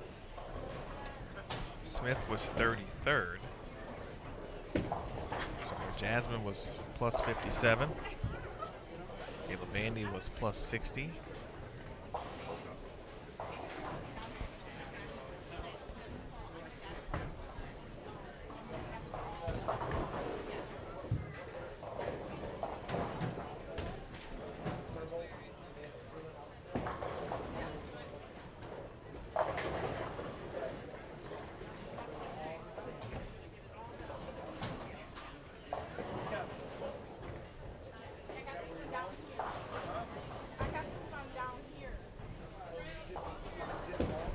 Shots coming up on 35-36. Still several pairs ongoing. Looks like the middle portion of the house is finishing first. I'll tell you what, it's been really awesome to see all these fans come out and watch.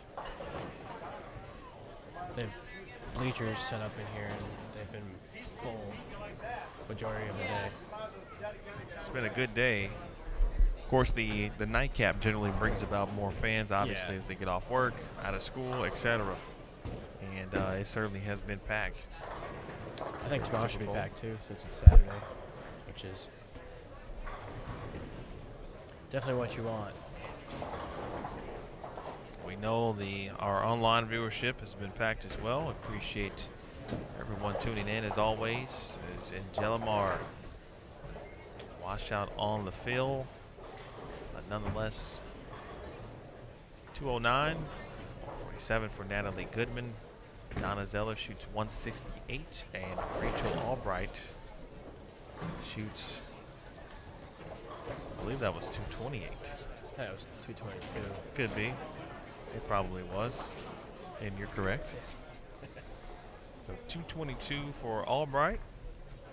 And so with no immediate bowling going around around us that we can get to you, uh, that will do it for us here on Extra Frame this evening. First of all, I want to thank Nick Pate for joining me for uh, the last four games. Yeah, I hope it was enjoyable for it you. was. Hope I learned a lot. Good. I hope the viewers uh, enjoyed your commentary and your thoughts, uh, of course, as well. I know some people tell me that they like me, they like to listen, but it never hurts to Yeah. uh, to add some additional knowledge Yeah. to the booth, which is what I like to do when we can. Uh, so definitely want to thank Nick. I want to thank all of the viewers. Uh, don't forget to check the updated results. I imagine somewhere within the next 10 to 15 minutes, bowling would be complete and maybe another 20 to 25. Uh, we'll have a, a cut number for you as well. So hang tight. Um, I may keep it keep it going for you. I probably will for those who who like to know the cut number immediately.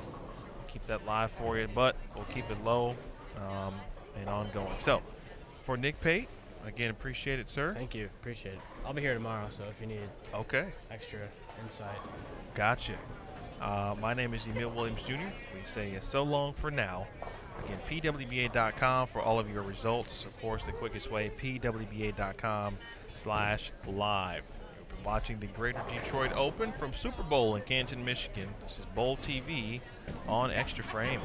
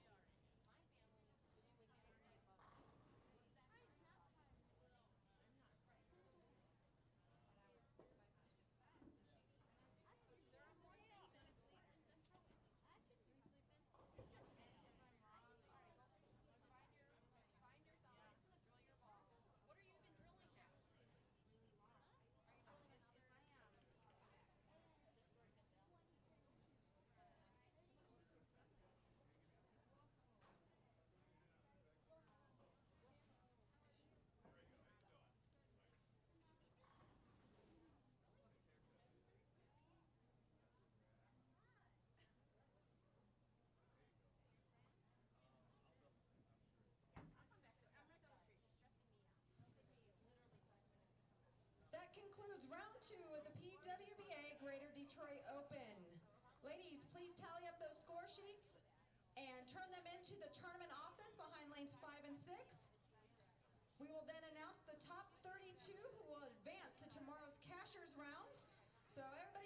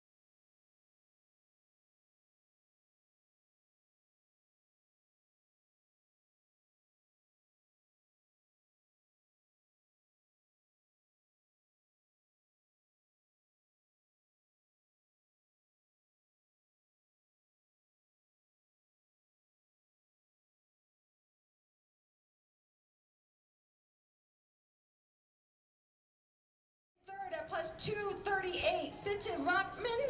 And rounding out your top four, plus 230 is Jen Higgins. Your 32nd and final qualifier for tomorrow's cashiers round at plus 52, Linda Barnes.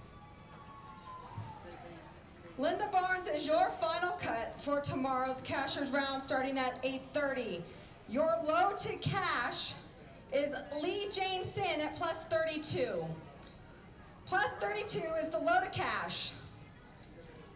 All right, ladies and gentlemen, thank you all for coming out today to watch the best women bowlers in the world. We hope to see you tomorrow for the conclusion of the PWBA Greater Detroit Open. Just a reminder, tomorrow's round of 32 will begin at 8.30, followed by the top 12 match play finalists at 1 o'clock. Ladies, roll call at 8 a.m. in the locker room. Have a good night. Be safe. We'll see you tomorrow.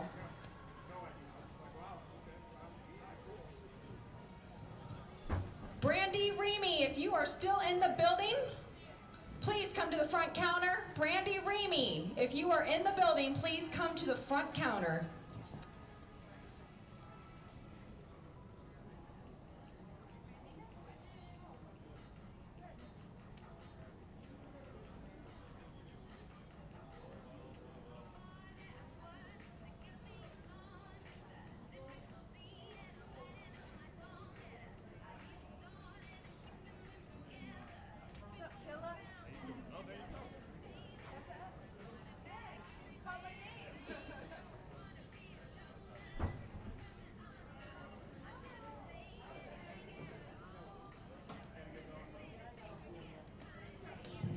Attention, is going to be last call for Laneside Grill and Pizzeria. Again, last call for Laneside Grill and Pizzeria. If you like any food or beverages, please give it this time. They'll be closing in five minutes.